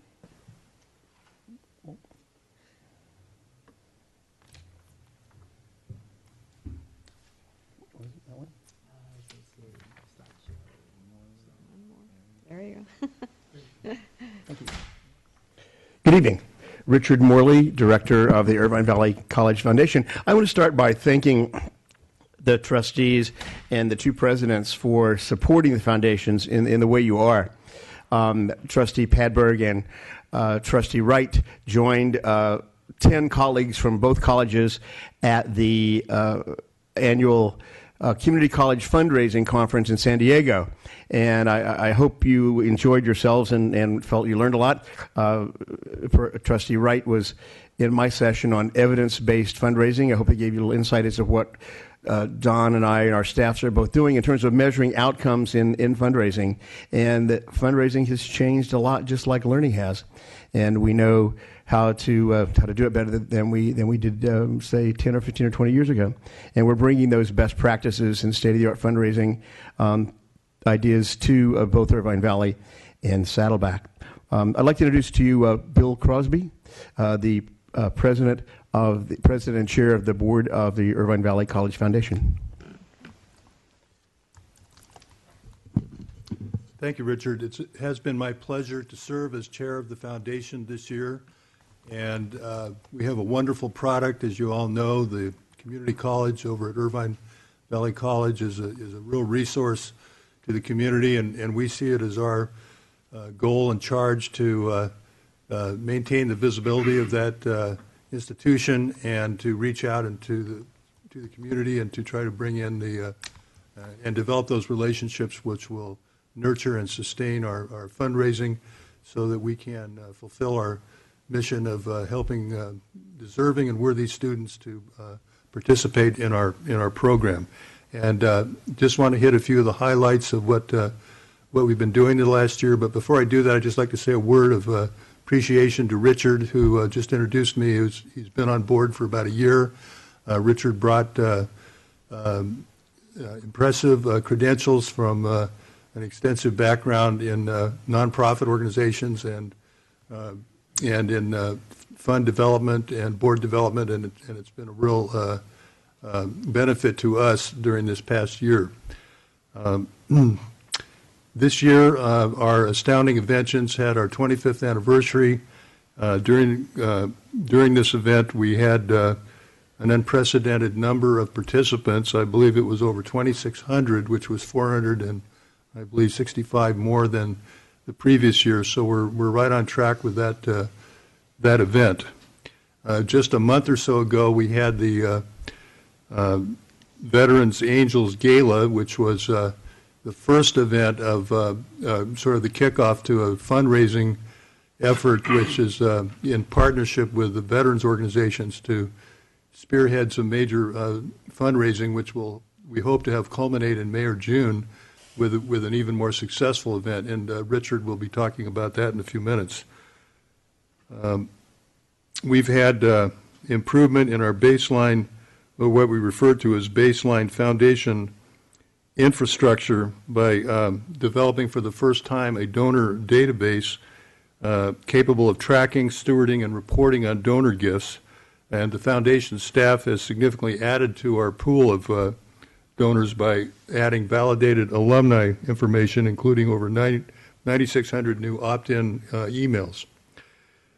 Uh, bequest gifts have also been uh, a focus of uh, some of uh, Richard's efforts, which you'll be discussing in a minute. But uh, we also have new software to assist us in that. Uh, you could visit our website and, and find out about uh, ways in which planned giving can benefit the college and also about the significant tax implications of planned gifts. Uh, our uh, successful Pro or Promote IVC campaign has been up and running with a state of the art Friends Asking Friends software. This is similar to what's been used by uh, organizations which have uh, successfully uh, done this, such as Komen Breast Cancer Foundation, Red Cross, and other similar large organizations uh, in raising money online. Um, finally, um, we've had uh, two new board members uh, come on. We have had some attrition as, as turnover and term limits have taken effect, and so we've been fortunate to have uh, Ernest Hackman, president of Top Gallant Energy, and Chip Corso, vice president of uh, advanced manufacturing at Edwards Life Sciences, join us. Uh, as, as you can see from this uh, history of foundation scholarships, this last year we uh, were able to garner uh, an unprecedented number of, uh, or amount, $172,900 in uh, giving, I think, to 219 recipients. So we're, we're proud of that, and we look forward to uh, hopefully a more successful year in the future. And with that, I'm going to turn it over to Richard to share some more of the financial uh, information.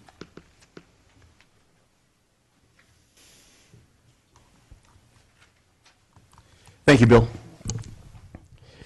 In looking at uh, 2012 income and expenses, um, we were coming off of the Osher campaign that ended in 2011, and you might expect a drop or a significant drop in a yearly income um, coming off of a campaign such as that. Um, in effect, there there was a, a slight drop in income, uh, being without a director for a few months and, and getting the momentum started back. But uh, for the second year in a row ever, uh, the IVC Foundation did top a million dollars uh, in revenue. So that the dip was less than expected and respectively uh, over a million dollars uh, in revenue, as you can see. Um, the contributions 388 events 54 uh, we didn't have an initial gala. We we pushed that gala into this year uh, so that's why that number is lower. Um, revenue is, is things other than the direct contributions. Um, there's some money in there from uh, revenue from vending machines and things like that uh, the district support and then the total revenue and then back to the college in terms of uh, scholarships and programs and time, uh, PR time and work time for, for me and the staff, uh, 753. Uh, the overhead was, was a, a low percentage uh, at only uh, 16%. Uh, that's well within the, uh, the, bounds of what we hope uh, overhead might be, and fundraising at 13%, which which is really low. That that should be higher, and that that was because of the the lack of director there for three months. That salary wasn't calculated in, and then the ramping back up of, of the new time. Um, so that pretty much summarizes our income and expenses for the year. And the specific numbers of our financial position, and I'm not going to read through all of these, but I wanted to provide it to you. I believe you all got copies of the small little blue booklet that has all this in it also. Um, total assets, um, beginning balances, and really what we're looking here always a, as a foundation being a, a corporation really uh, that is that looks at not making a profit. Yes, we do want to make a profit. We want to have net assets left over. Uh, it's not a zero sum game like higher education funding. Uh, we want to grow the net assets. We want to grow our ability. We want to grow our endowments. And as you can see, between July 2011 and July 2012, even though there was a little less in income for the year, uh, our net assets actually grew. And that is a factor of tighter controls of expenses and a better return on investment. Any questions? Uh, I don't see any. It sounds very good, positive. Thank you very much. Thanks for your support. All right. And now we'll move to Saddleback's Foundation.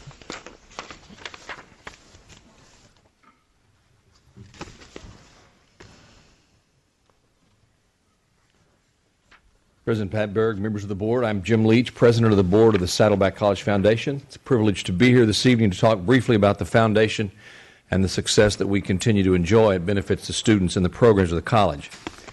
When I became president, I very quickly came to realize the best way to ensure one's success was to follow another person's successful tenure and keep that person around. Been successful in doing that. Uh, what I'm going to talk to you about in a moment is due in no small part to both our very supportive, committed, and dedicated president, Tod Burnett, who had working at his side a most extraordinary board president, Ms. Donna Varner. Our board is a good one, comprising dedicated business people, alumni, and interested active citizens who have a heart not only for students and education generally, but for the continued growth and success of Saddleback in particular. We've reaped the benefit of having brought on Dr. Don Rickner as our interim executive director. Don's helped us focus our efforts and generally improve the way in which we help our board members and supporters maximize their efforts at raising money for students and programs. And in that vein, we continue to focus on board development and activity the strength of our current board will take us into the successful future.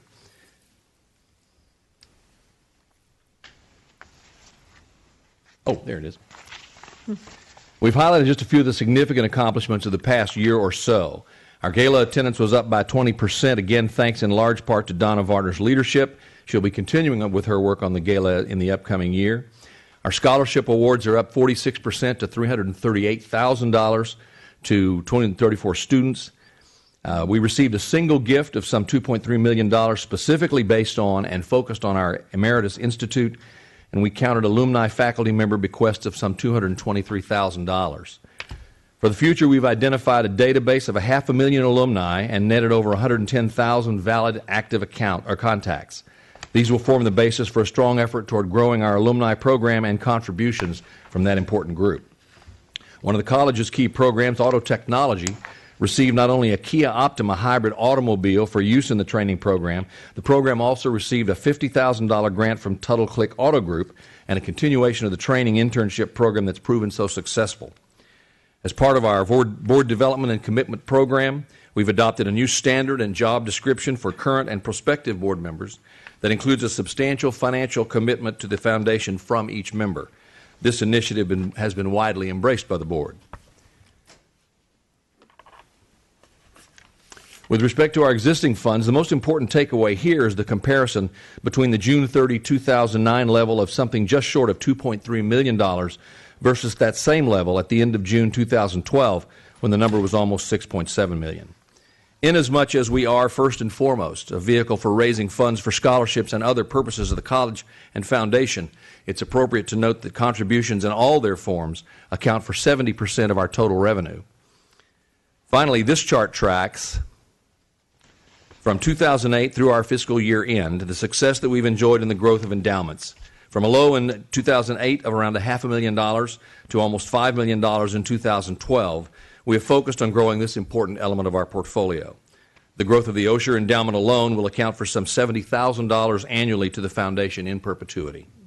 In short, the foundation continues to grow and strengthen resources. We're enjoying the results of some very good years made possible by improvements in professional staff, an enthused, committed board of directors, and the outstanding leadership of our Saddleback president and a capable, dedicated board leader. We look forward eagerly to the future. We would not have enjoyed the success we've had, as I mentioned earlier, without the capable staff and leadership of our interim executive director, Dr. Don Rickner. Don? Um, as we look ahead, we look at keys for uh, how do we keep strengthening what has been a, a very strong period in the foundation with Tod's uh, leadership here and Glenn's leadership with Richard at Irvine Valley, and then such wonderful board members as uh, Jim and Nancy, his predecessor. And the, and the first conclusion that we come to is that we need to staff up because uh, foundation work is like outside sales. Um, and if you don't have more people to do the job, it doesn't get done. Um, baseline studies uh, have been done by the Network of Community College Foundations over the years. Uh, there was one in 204, 206, 208, 209, and there was also a study uh, paid for by the Kresge Foundation on behalf of the Cal- Foundation for the California Community Colleges.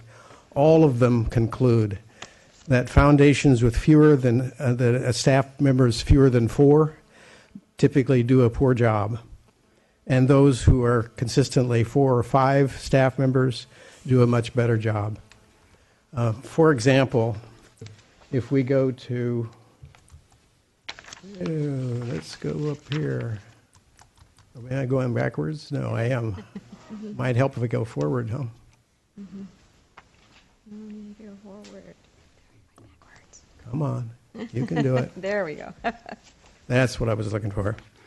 So, in the 2004 study, for example, the top 10 uh, fundraising community colleges in the state, uh, their staff, which averaged, uh, by the way, four and a half staff members per foundation, raised on average a, thou- a million dollars per staff member.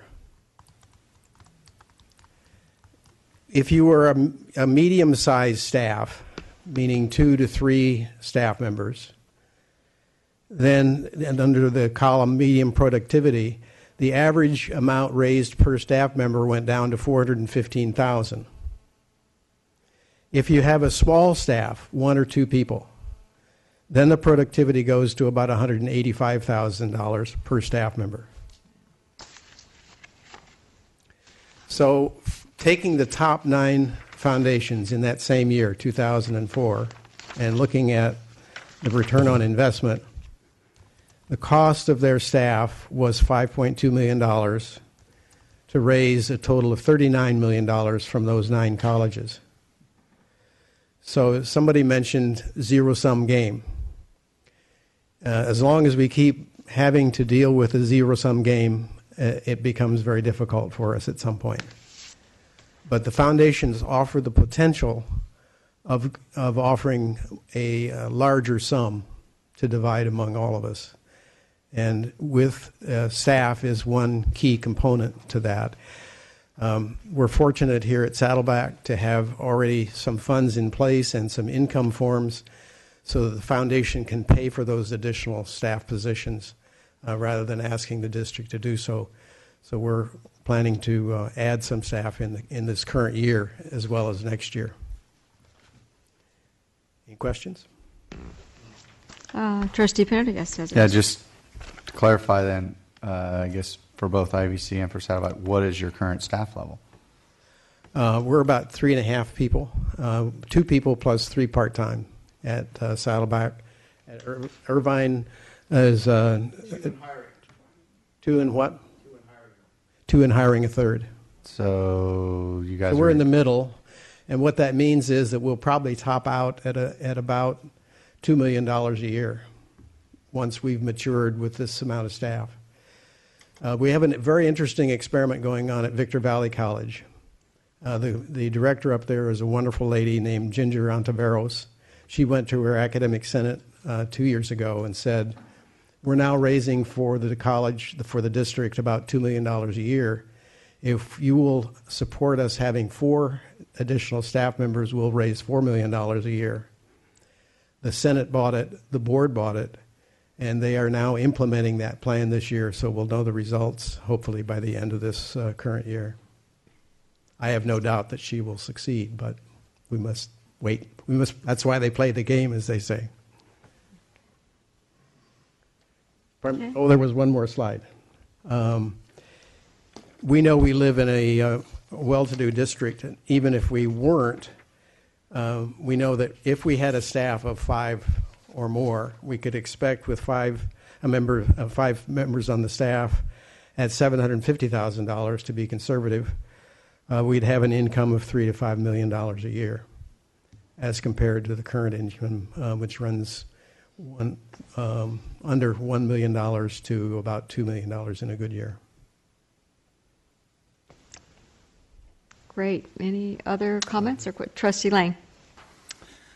Uh, Yes, n- not a question, just um, really a uh, brief comment, and that is I wanted to thank uh, uh, particularly uh, Bill Crosby and Jim Leach, who work on the, our foundation boards on a volunteer basis and give of themselves uh, and their time and commitment, and we very much appreciate uh, your efforts. And then just also to congratulate our directors, Don, Richard, for the job that you do. Thank you. Great.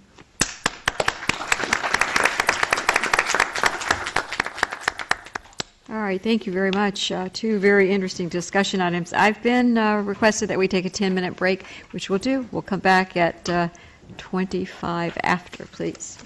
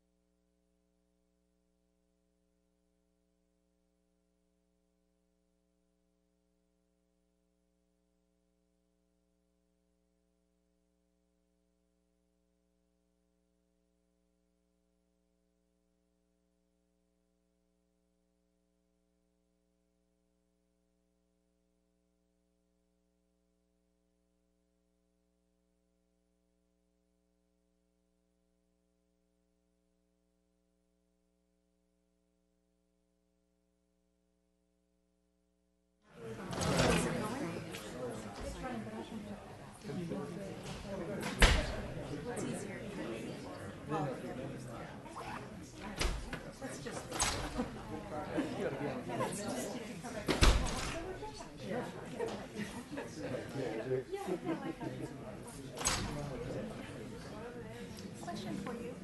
Um, Leslie said that coming in s- spring. Good,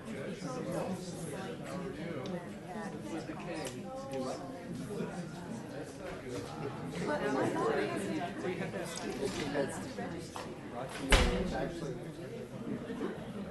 Well,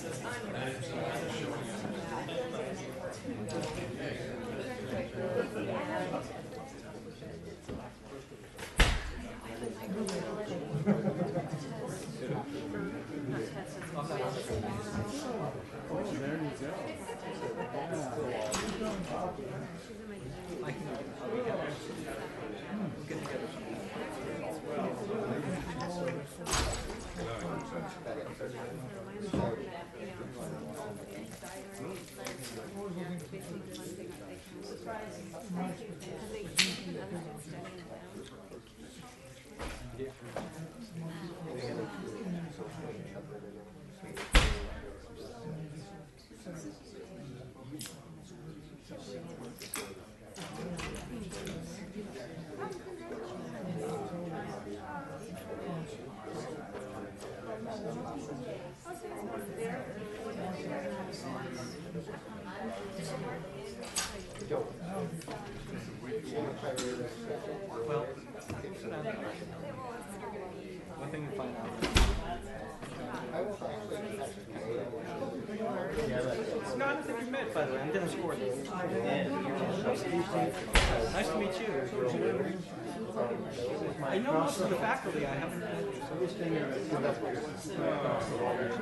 Really? Uh, I'm sorry hear that. Couldn't, couldn't you get your office moved? I mean, you know, It is true.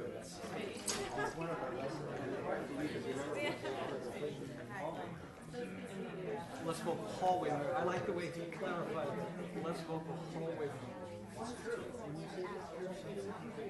Nice meeting you. Nice to meet you. Anyway, we'll, uh, we'll get together sometime. Are you doing the presentation? I was I was wondering why I took the picture. Maybe they're gonna do another set of you and one. I hope we did okay for you. I know they can so much.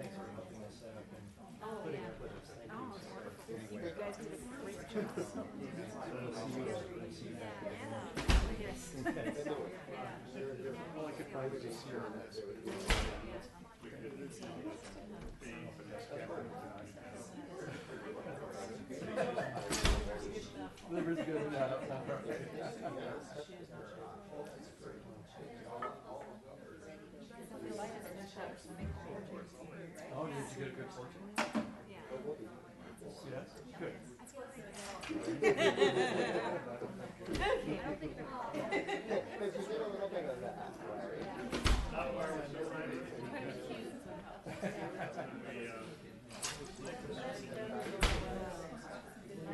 hasn't done anything.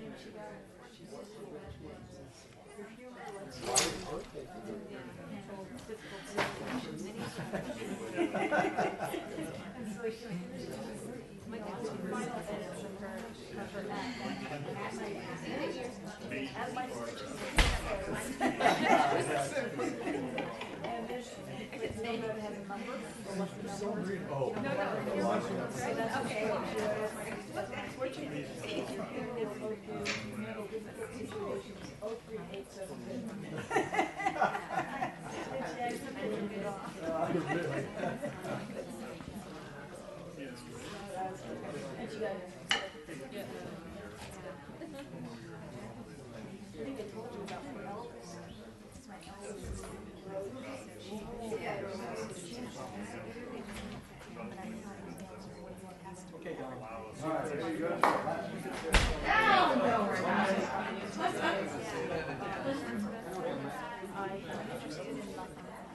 mother says.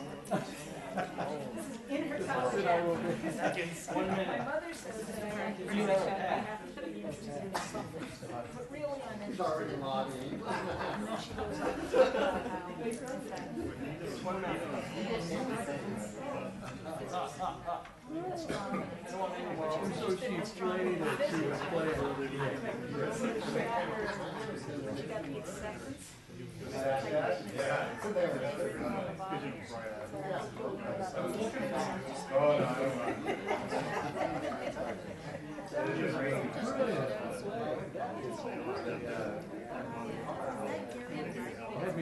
going there for a minute. Well, she was careful, she didn't say she wasn't getting anything. She said she said she did not. The best thing is, so in grad school, she gets, she studies law. She wants to go.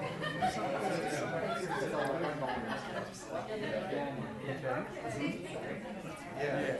Well, she, she cap- she captures individual. That's right, it is going.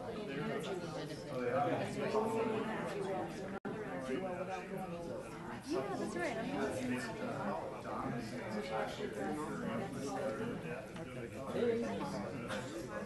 That sounds like Feynman, Feynman 101.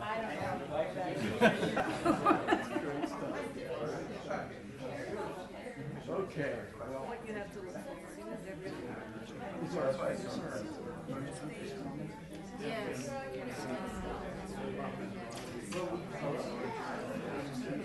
It's right. Yes.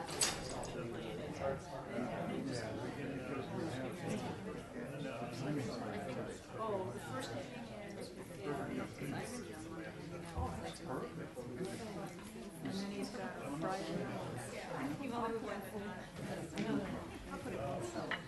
I only have the list from last Friday and most of it's not filled. But then he's got a whole day Friday.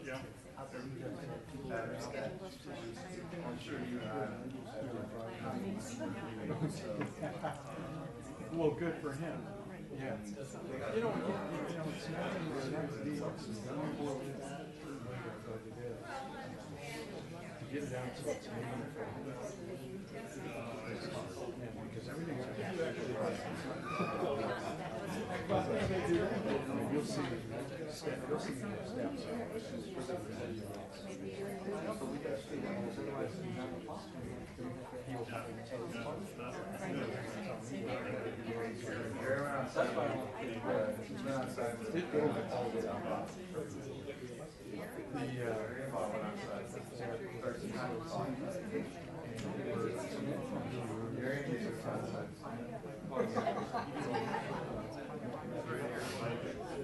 You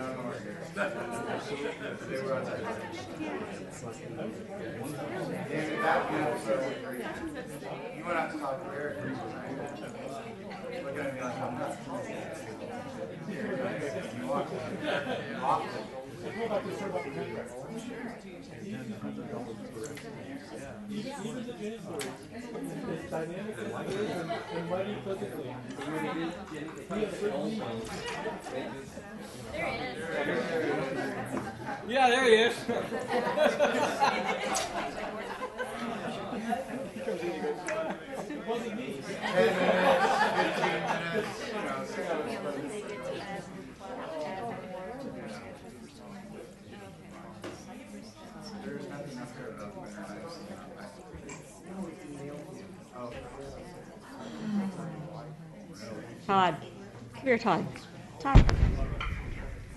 Waiting on control to push their button, and they aren't even paying attention. Go back and talk. Push their button.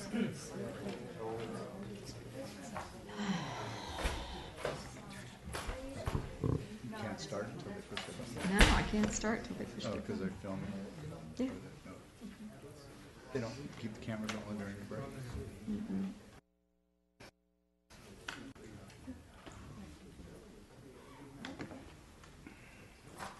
I'm waiting for our technical crew. Sorry.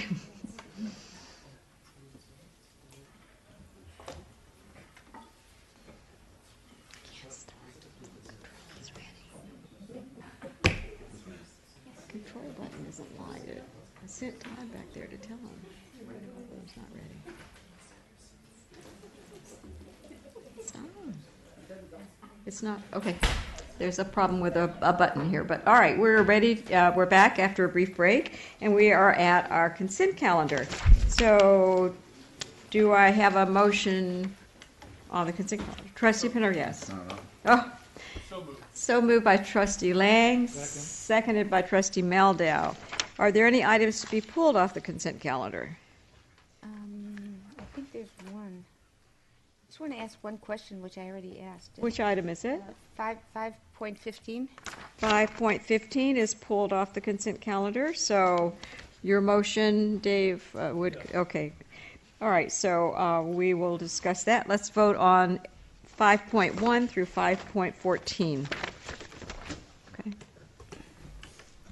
Okay, well, our lights are not working, so let's take a Lights hand on, vote. nobody's home. Yeah, lights are on, nobody's home.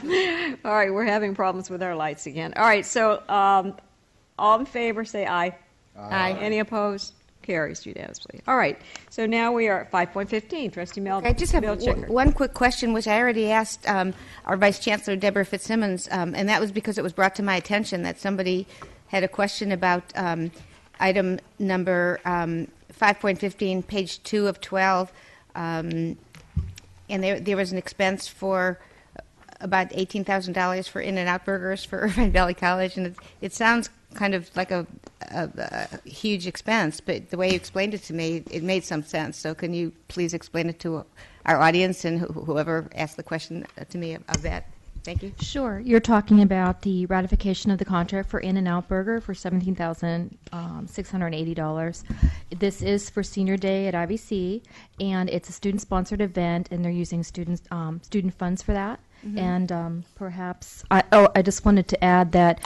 Um, it is sort of a practice at both colleges for the student groups to um, uh, do several of these for different um, events that a lot of students are in attendance at and in which they'll be participating. And in some cases, um, or in many cases, there are income coming back from the events as well. So, um, President Roquemore might be able to fill you in more about the Senior Day event. Thank you. President Roquemore, did you want to comment? Yeah, I would like to add just a little bit. This is, uh, uh, I believe that that particular vendor has, uh, to my recollection, about six years in a row.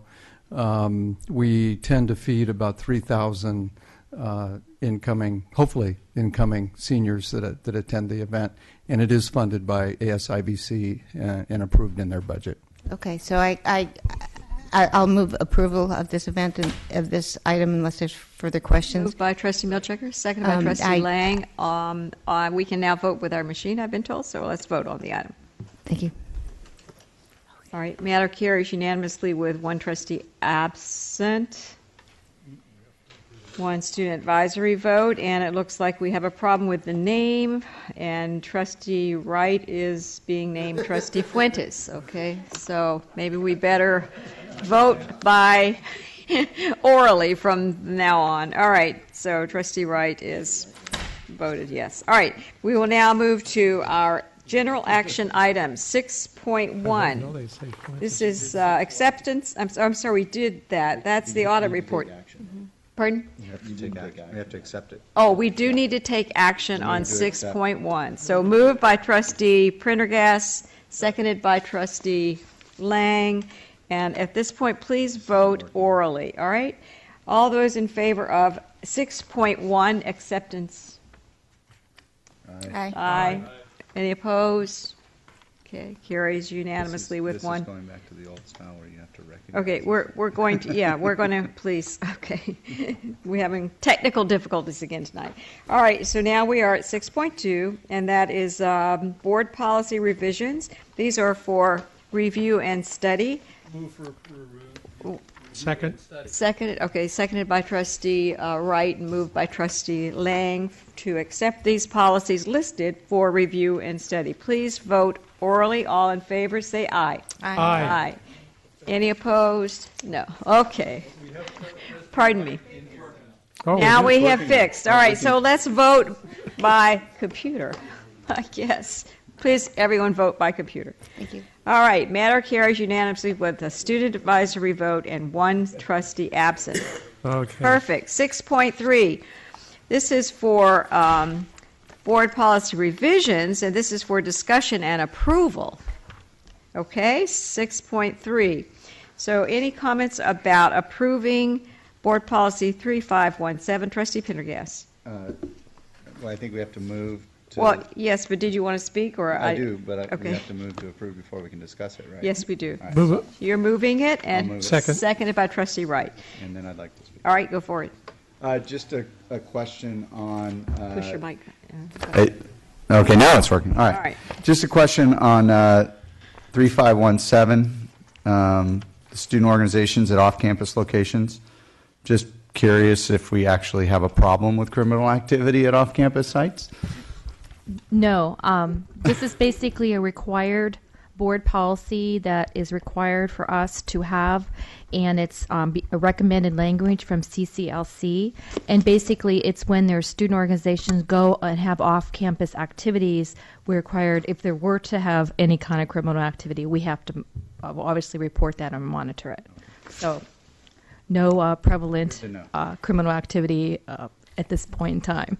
Trustee Lang, did you want to comment? Is your mic on? I can't hear. I think so. There you go. Um, And this may apply also, actually, to some of the items that were in 6.2, but um, relative to, um, I guess it's uh, Board Policy 3517, uh, can I assume that this is a brand-new policy that's coming to the board for the first time? And, and uh, that otherwise it would in fact have um, a a date on, or a date on which it was previously adopted, revised, et cetera, et cetera? Yes, you are correct. Okay. Whenever there's um, blue blue underlined, that's all new language. So this is a totally new pol- policy that was for first reading in last month's um, board meeting, and then of course second meeting today. Okay. Thank you. Trustee, are we, any other comments by trustees? All right, we have a motion and a second. I forget who did that, so let's vote on the item. Carries unanimously with one trustee absent and one student advisory yes vote. All right, we are at 6.3, contract with Neudesic for software development. And we're going to have that presented by Vice Chancellor Bramucci. This is for two projects that were uh, approved by the board uh, in their basic aid allocation. Those came forth uh, from the colleges and were prioritized in the District Technology Council and then approved by the Basic Aid Allocation Resource Committee. These two pro- uh, projects include the awards management system, which is to uh, track degrees, certificates, and transfer data, as well as a proof of concept for a context-sensitive help system for my site for students. Okay, very good. Trustee Lang. Move approval. All right. Seconded by trustee Wright. No comments or questions? Let's vote on the item. Matter carries unanimously with one trustee absent, one student advisory yes vote. 6.5, this is the academic personnel actions. We- We'd like to make one adjustment to this agenda item. If we could pull all of item B. This will be coming back. We're discussing this issue of department chair compensation with the faculty association, and we came to some conclusions after this was submitted. So we'd like to pull item B. You'll see it again next month, slightly modified. Okay. May I ask a question? Yes, trustee Wright. Uh, As I looked through this, this was the same amounts that was given last year. That's why we, I like to pull it. Okay, that's why you're pulling it? Mm-hmm. Okay. All right. Any other comments or questions? Okay, we have a motion to approve this item. Trustee Lang, Second. seconded by trustee Meldau. Okay, let's vote on the item. Okay, matter carries unanimously with one student advisory yes vote and one trustee absent. 6.6, classified personnel action. I'd like to pull item B1. All right, pull item B1. And that is, let's see. It's a, uh, it's a new position. We want to, we need to discuss it a little bit further. It's uh, dispatcher lead. Oh, dispatcher lead, okay, very good. All right, with that adjustment, um, do I hear a motion for this item? So moved. Second. Trustee Prendergast moved and trustee Milchiker seconded. Seeing no one wishing to speak, let's vote on the item. Trustee Wright, okay, matter carries unanimously with one student advisory yes vote and one trustee absent. So we are now at reports. So we'll start with uh, 7.1. List of board requested reports. Any comments or updates on that? All right, we'll move to 7.2, Saddleback and Irvine Valley College speakers. No comments or questions? The 7.3 is the basic aid report. And no comments. These are our standard reports. 7.4, facilities plan status report. Seeing no comments. 7.5, the retiree trust fund report. Okay. And we've heard about that through the audit, or the 7.6 quarterly investment report. Okay, no comments. 7.7 monthly financial status report. Okay, no comments. 7.8 academic year non-resident tuition fees, foreign and out of state. No comments. All right, we are now at our reports from our shared governance groups. We'll start with Saddleback College Academic Senate. Thank you, uh, Madam President. You, I left on your uh, on your uh, desk area earlier to, uh, this evening um, a written report here, and my comments are at the top in the bold. But what you have, and I'm going to highlight uh, one of these programs uh, each time during the next uh, several months, another level of how we're trying to improve what's going on in our classes. And this is provided by one of the librarians. And while we have a new building, we also have some new ideas that are in the building. And we wanted to share them with you, and you can read this over at your leisure. We also have, I might add, a reading uh, program that has been tailoring some of its uh, coursework to specific divisions. So, nursing was the first one. Uh, students needed help with reading textbooks that are quite technical. And so that has been a good augmentation of staff needs from one area to staff needs in another area and supporting our students. Um, the second thing I wanted to talk about uh, and to stress is the issue of part-time faculty members. You heard Deanna say that our part-time faculty do not oftentimes keep office hours, partly because they have no place to keep office hours in. And so with half of our um, uh, over half of our courses being taught by part-time faculty, that's an enormous impact on students. They're not compensated, of course, to have office hours, uh, though some of them try to have them, and some divisions have, you know, some space, but it's inadequate. And uh, if student success is to be successful, we have to figure out some way, at certainly Saddleback, to bring these individuals into the fold as though they are as professional as the rest of us and doing the same kind of work that our students need. Thank you. Okay, great, thank you. And our Faculty Association President, Paula Jacob. Thank you. I don't have a report, but I would like, on behalf of the uh, leadership of the association, to congratulate trustees Jay, Wright, and Lang on the outcome of the election. And I'd like to extend best wishes to Trustee Meldau, who wa- would have been our endorsed candidate in Area 7 had he uh, chosen to run. Uh, but best wishes as you leave the board. Okay. Thank you very much. Irvine Valley College Academic Senate, Kathy Schmeidler. Thank you very much. Thank you. It, is it coming through? There we go. Yes. Um, the Irvine Valley College Senate is working with the president and the administration in particular, but with the entire college community to try to work on, work together consultatively to work out budgetary issues and uh, and try to find reasonable ways to make reductions that are required of us.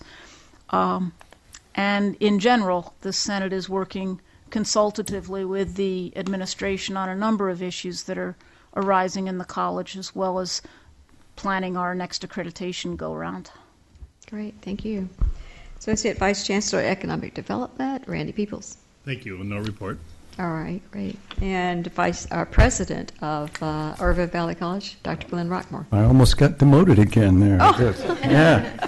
Uh, no, Don't that's take it fine. personal. yes. Uh, congratulations again, uh, Trustee Lang, Trustee Wright, Trustee Jay, and soon to be uh, Trustee Jemal on your successful runs.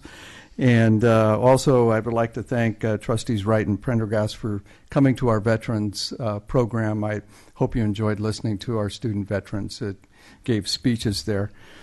Uh, the accreditation follow up went absolutely smoothly. Uh, I had a hunch it was going to go well when the chair walked into my office and said, You know, Glenn, I really don't know why I'm here. Um, And that's a quote. So he probably doesn't want that broadcast. But um, and then when he left, he said that uh, we just were absolutely a plus, and so I think all of that's going to come out really well. So again, thanks to uh, Lisa Davis Allen, who was the then academic senate president, our current academic senate president, Kathy Schmeidler, uh, Kathy Worley, our dean Kathy Worley, that worked on that. And in fact, our very own uh, Thomas uh, Thien down here had input on that as well from the ASIVC. So, um, one another comment that was made that the report was absolutely well written and well documented, and that's critical that Yes. that, that happened. So, uh, kudos to everybody on that. And then finally, I had a, a really great thing happen is that um, the president of our uh, classified senate and our vice president of our classified senate, I'm speaking of Dennis Gordon down here, and Angela Mahaney, invited me to be a co-author with them on a paper that we presented recently, um, just last week at the Community College League uh, conference.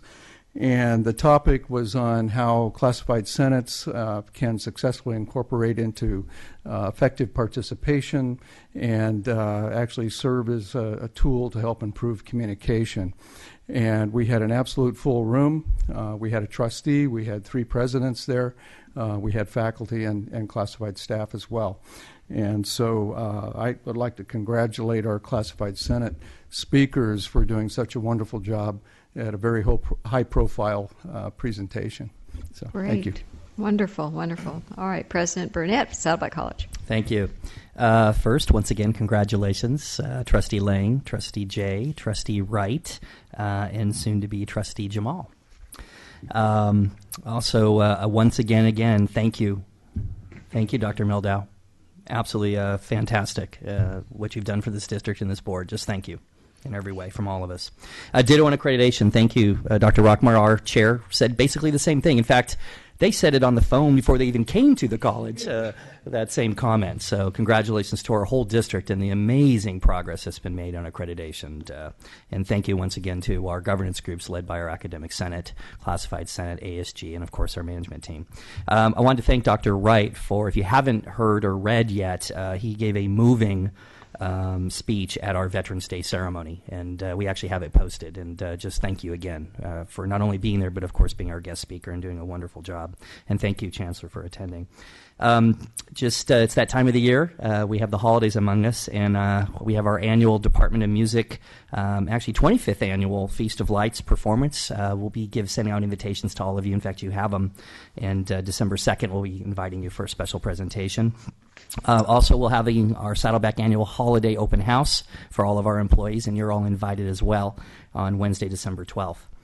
Um, one of the things that's really special, and I'm very proud of our college and our district, is that uh, our, our college just partnered with a group called Helping Hand Worldwide, and that's to provide groceries actually for our needy students, uh, which includes all of our student groups, veterans, etc. And uh, on the first and third Wednesday now of each month, we're providing groceries to our needy students. Uh, I think that's just a wonderful thing, and that's all volunteer and partnering with one of our local nonprofits to, to, to do that. Uh, and uh, with that, that's a wonderful way to say Happy Thanksgiving. Thank you very much. And our Vice Chancellor of Technology and Learning Services, Dr. Bob Bramucci. We're scheduled at the end of the month to release My Site Mobile, which will be added to the existing suite of mobile apps we have that's been downloaded over 14,000 times. It's going to add personalized services. It uses our Sherpa recommendation engines to provide personalized announcements, personalized course lists, personalized calendar, personalized to-do lists. So we're very excited about that. Jim Gaston and I uh, were in Denver recently presenting at uh, EDUCAUSE. That's uh, the largest university educational technology show. Uh, we presented a session that was uh, uh, videoed and streamed. Uh, I have met with some representatives from publishers who are trying to figure out how to make their digital wares more affordable for students. And um, lastly, uh, we've been contacted by Western Governors University, who are impressed by uh, a Sherpa presentation they saw recently, and so we're in discussions with them about uh, how we could uh, both kind of learn from each other's efforts to improve student services through personalization. Thank you very much. And our Vice Chancellor of Human Resources, Dr. David Bugay. During this fall, during the legislative activity, one thing that happened that will affect us to some extent here at our district. Uh, during the pension reform, that what happened was the retirees, once you retire now from either PERS or STRS, you're required to sit out for 180 days. Now, that will have an impact on us because we have a large batch of 37 classified staff leaving. We may not employ them for, for basically six months afterwards as subs, and we, we'd hope to do that. The STRS has a different spin to it. Uh, you can come back and work, except every dollar you earn has to go back to STRS, so they get to work for free, which is kind of creative. so, so on that, I want to wish all of you ha- happy Thanksgiving. Thank you very much. And our Vice Chancellor of Business Services, Dr. No report tonight. All right, thank you. And IVC Classified Senate. Thank you. President. Uh, I just wanted to thank uh, uh, President Roquemore again uh, for his comments about the CCLC presentation. It was absolutely fantastic. As he said, uh, the presentation was on enhancing uh, performance and accountability uh, at the institution. And a lot of that really is, uh, uh, I have to congratulate all of you on the board because uh, the discussions uh, were framed around having a lot of communication, having transparency, and the board has certainly done that for us. And certainly given us an opportunity as classified senate to participate at a governance level that really was unheard of for a lot of the colleges that were there. Uh, as a matter of fact, Glenn was actually being very, uh, uh, very generous because uh, a lot of the comments went to him as a president uh, for, for supporting us as strongly as he has, and I wanted to thank him and thank the board and uh, our chancellor for uh, for supporting us also. Thank you and happy Thanksgiving. Thank you. And our class, uh, California School Employees Association President. Sarah Shabani. Nice to Thank you.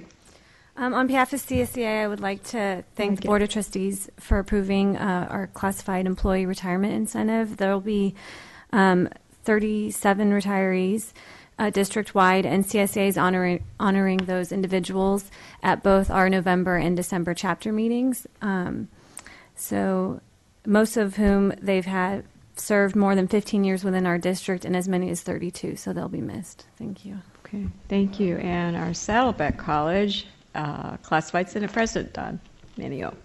Thank you, and congratulations on your elections and the elections that affect our state so much. Um, you saw the report today on the foundation and how that classified employees help the college as well as helping that direction of student success. And as you see many of these people leaving, hope you keep in mind how, again, the bang for your buck is actually on that full time employee.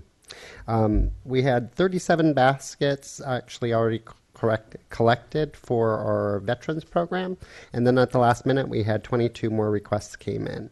So actually, uh, thanks to Tracy McConnell and Catherine Bears, and really everyone at Saddleback College in the district, we actually met that quota of, uh, or the request of 59 baskets.